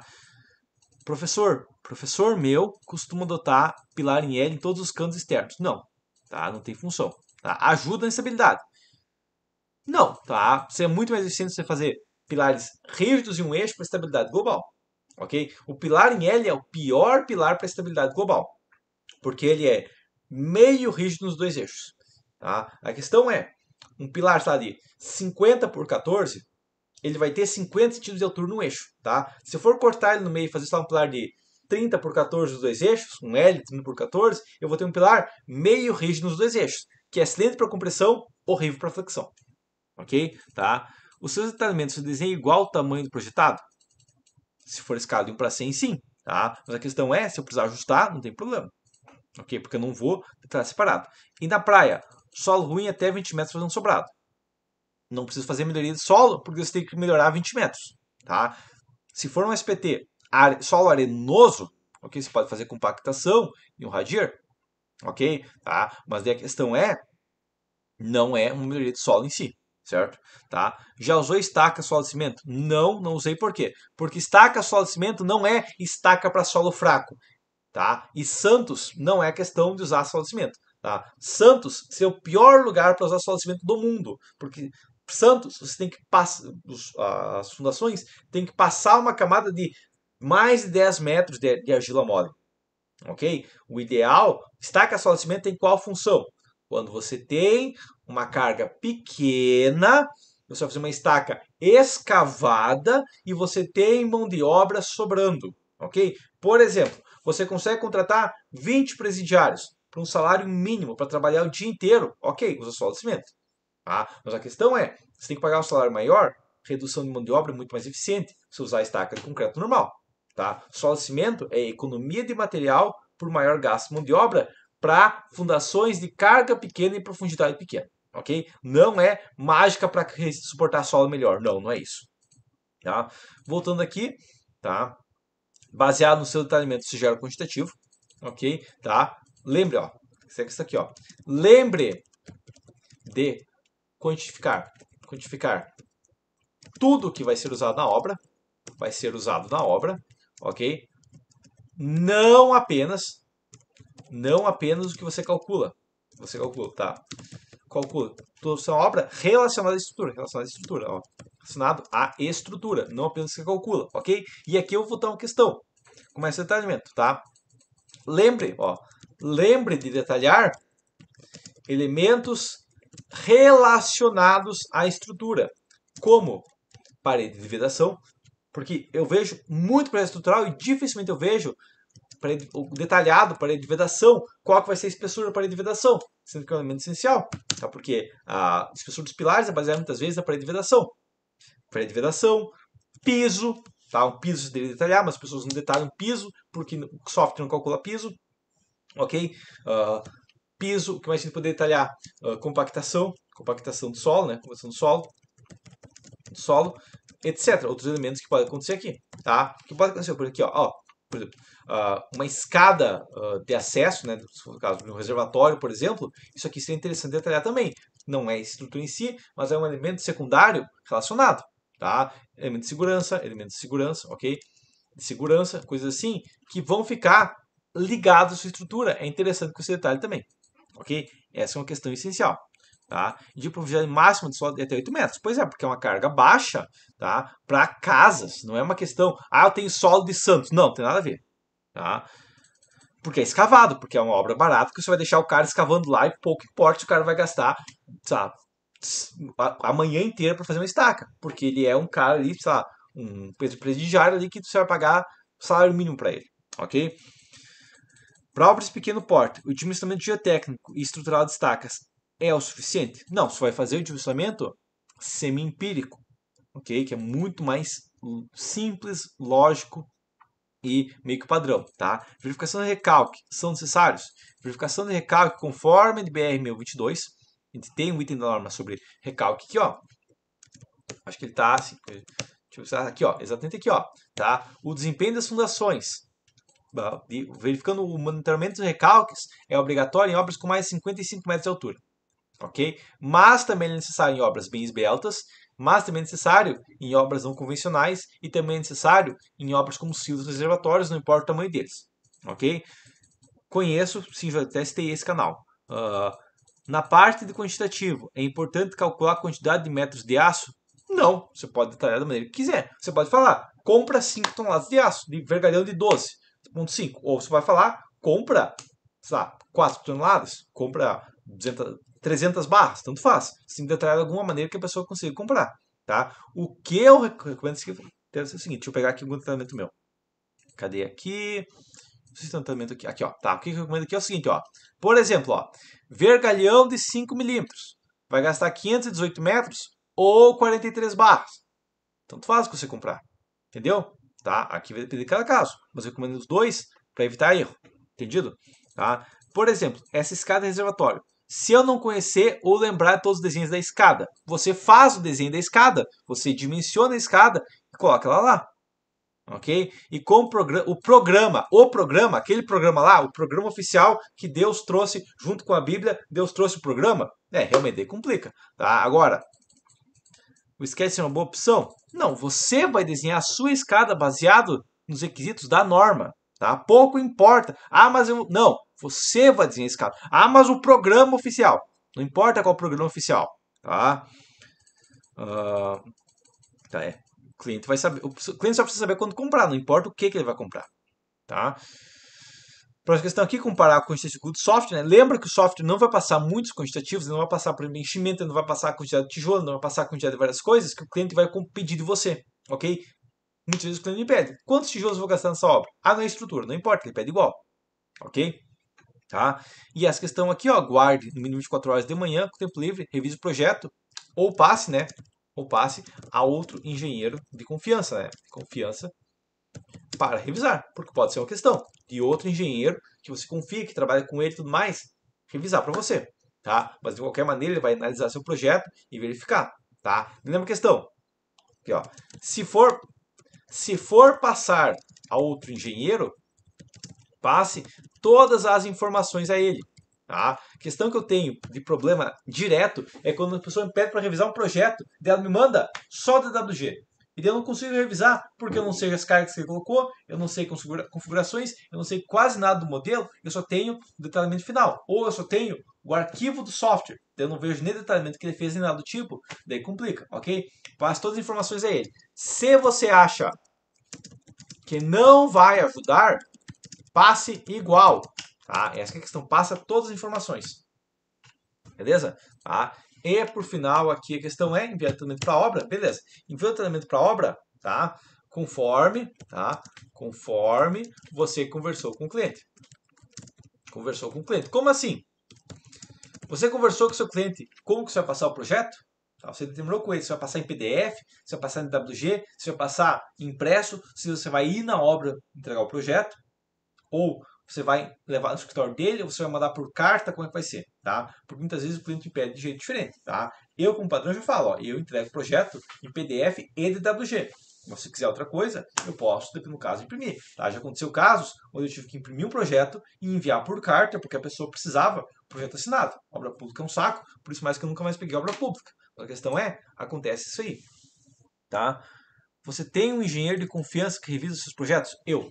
Tá? Agora, se eu precisasse outro engenheiro para fazer os projetos, porque a questão é, no meu trabalho que eu faço é o seguinte, eu, atualmente o que eu estou fazendo é, eu estou fazendo um base do projeto, passando para o meu estagiário detalhar, ou eu também terceirizo com outros engenheiros, e eles fazem o projeto com base e eu reviso. ok? Então eu sou o revisor. Tá? Por quê? Porque o ideal é que o engenheiro, digamos, com maior capacidade técnica da equipe, tente fazer revisão. Ok? Tá? Isso é o ideal. E tecnicamente, eu, digamos, eu do meu escritório sou com maior capacidade técnica. Ok? Tá? Essa é a base. Tá? Uh, indicar um engenheiro que possa cobrar dele uma comissão. Indicar um engenheiro. Eu posso cobrar dele uma comissão. É. Quando eu indico um projeto para outro engenheiro, sim, eu cobro uma parcela para ele. Tá? Oi, Leocádia. Uh, tá. Gustavo, já projetou a junta de lotação? Uma casa estilo a minha casa, minha vida com alvenaria estrutural? Tá. Você não vai usar junta de lotação numa obra da minha casa, minha vida, que tem 50 metros quadrados. junta de dilatação em obras grandes. Ok? Tá? Você não vai fazer junta de dilatação numa parede de 8 metros de vão total. Tá? Uh, que eu posso publicar. Tá, peraí. Máxima engenharia. Em galpões onde só consigo escavar até 90 centímetros por ter água. Tá? O pouco recobrimento de solo sobre a sapata se tornaria um problema? Não, você faz o magro e faz a sapata em cima. Só que, claro, uma sapata de baixa profundidade vai ser mais cara. Por quê? Porque o peso do solo ajuda a sua sapata. Beleza? Tá? Uh, veja alguns projetos que o engenheiro não detalha a laje. Coloca no projeto 12 mais 4 para carga 480 e deixa a responsabilidade por conta do fabricante. Tá? De quem é a responsabilidade? De quem assinar a RT. Só que tem um problema. O engenheiro já tem que determinar todos os sentidos das lajes. Okay? Eu vejo muito projeto no dinheiro só coloca laje e o fabricante decide o sentido das lajes. Ah, mas laje sempre menor vão. Não, às vezes não é. Às vezes a concepção ideal vai ser a laje do maior vão. Ok? Essa é uma questão que tem que verificar. Tá? Mas a questão é, a responsabilidade é de quem assina a RT, não importa quem seja. Ok? Tá. Em relação a esse arquivo aqui, ó, esse é um arquivo básico que eu sigo. Significa isso aqui que eu vou usar oficial? Não. Tanto que como falei antes, tá? Todo esse arquivo que eu demonstrei, que eu montei dentro dessa live, não é o que eu sigo no meu escritório. Ok? Porque no meu escritório, aqui eu demonstrei um exemplo para um engenheiro, mas se for dois engenheiros, muda. Se for um escritório grande, muda. Porque vai depender de cada caso, de cada engenheiro. Ok? Posso até, no caso, salvar aqui, ó. Tá? Ah, vou salvar aqui esse arquivo aqui, assim. Peraí. Arquivos, salvar como aqui, ó. Cadê aqui? Aqui, ó, salvar no Mega. Só no curso, depois eu jogo em todos os cursos ali para os alunos, mas a questão é, isso aqui eu recomendo que você veja a live e modifique, faça um seu, mas modifique. Não siga exatamente isso aqui. Você pode modificar várias coisas passo a passo, ok? Tá? Não siga um padrão final, beleza? Tá? Bom, uh, imaginando que não tenha mais dúvidas relacionadas a isso, tá? Porque já foi duas horas de live, já falei basicamente de toda todo o meu método, o método que eu recomendaria para fazer um projeto passo a passo, ok? Eu vou cortando meio que a live por aqui, tá? Só uma questão é que muitas vezes tínhamos dúvidas que eu tenho regularmente, tá? Porque uma questão é que perguntas que as pessoas têm, já perguntaram para mim quando eu falei sobre como executar, foi duas perguntas meio que padrão que acontece para mim. É o quê? Ah, eu tô com um erro no software não consigo resolver. A questão é que, se você não consegue resolver no software, tem que fazer tudo à mão, ok? Mas a questão crítica é, se você está com um erro no software, faça a mão. Se você não consegue fazer a mão, o problema não é o software, o problema é você que não configurou ele baseado no que você fez à mão e, e não ajustou ele, não sabe o que fazer porque você não entende de engenharia, ok? Agora, outra questão, que é basicamente a crítica aqui, é o quê? Eu preciso fazer no software? Não, daí o problema é que você não precisa fazer no software não, não tá? Eu vejo muitas vezes a pessoa falar, eu tenho que fazer tudo no software, eu quero deixar pronto no software, aí é o problema que a pessoa é escrava do software, ok? Tá? Bom, não tendo mais dúvidas aqui, eu vou cortando live por aqui. A princípio vou voltar a fazer lives toda semana, pelo menos cada duas semanas, tá? Depende de cada caso, mas agora eu consegui cortar, de terminar os projetos críticos que eu tinha, que estavam alguns projetos atrasados e tudo mais, eu consegui terminar e repassar para o detalhamento, né? Inclusive, como eu falei, no meu caso, eu faço as concepções base, faço os projetos base e eu passo para o meu estagiário, por exemplo, fazer o detalhamento. E depois reviso o detalhamento e faço o final, ok? Isso é uma questão que eu faço, que realmente é diferente do que eu demonstrei, porque cada escritório vai ter algumas diferenças de equipe, beleza? Tá? O que eu demonstrei é um detalhamento de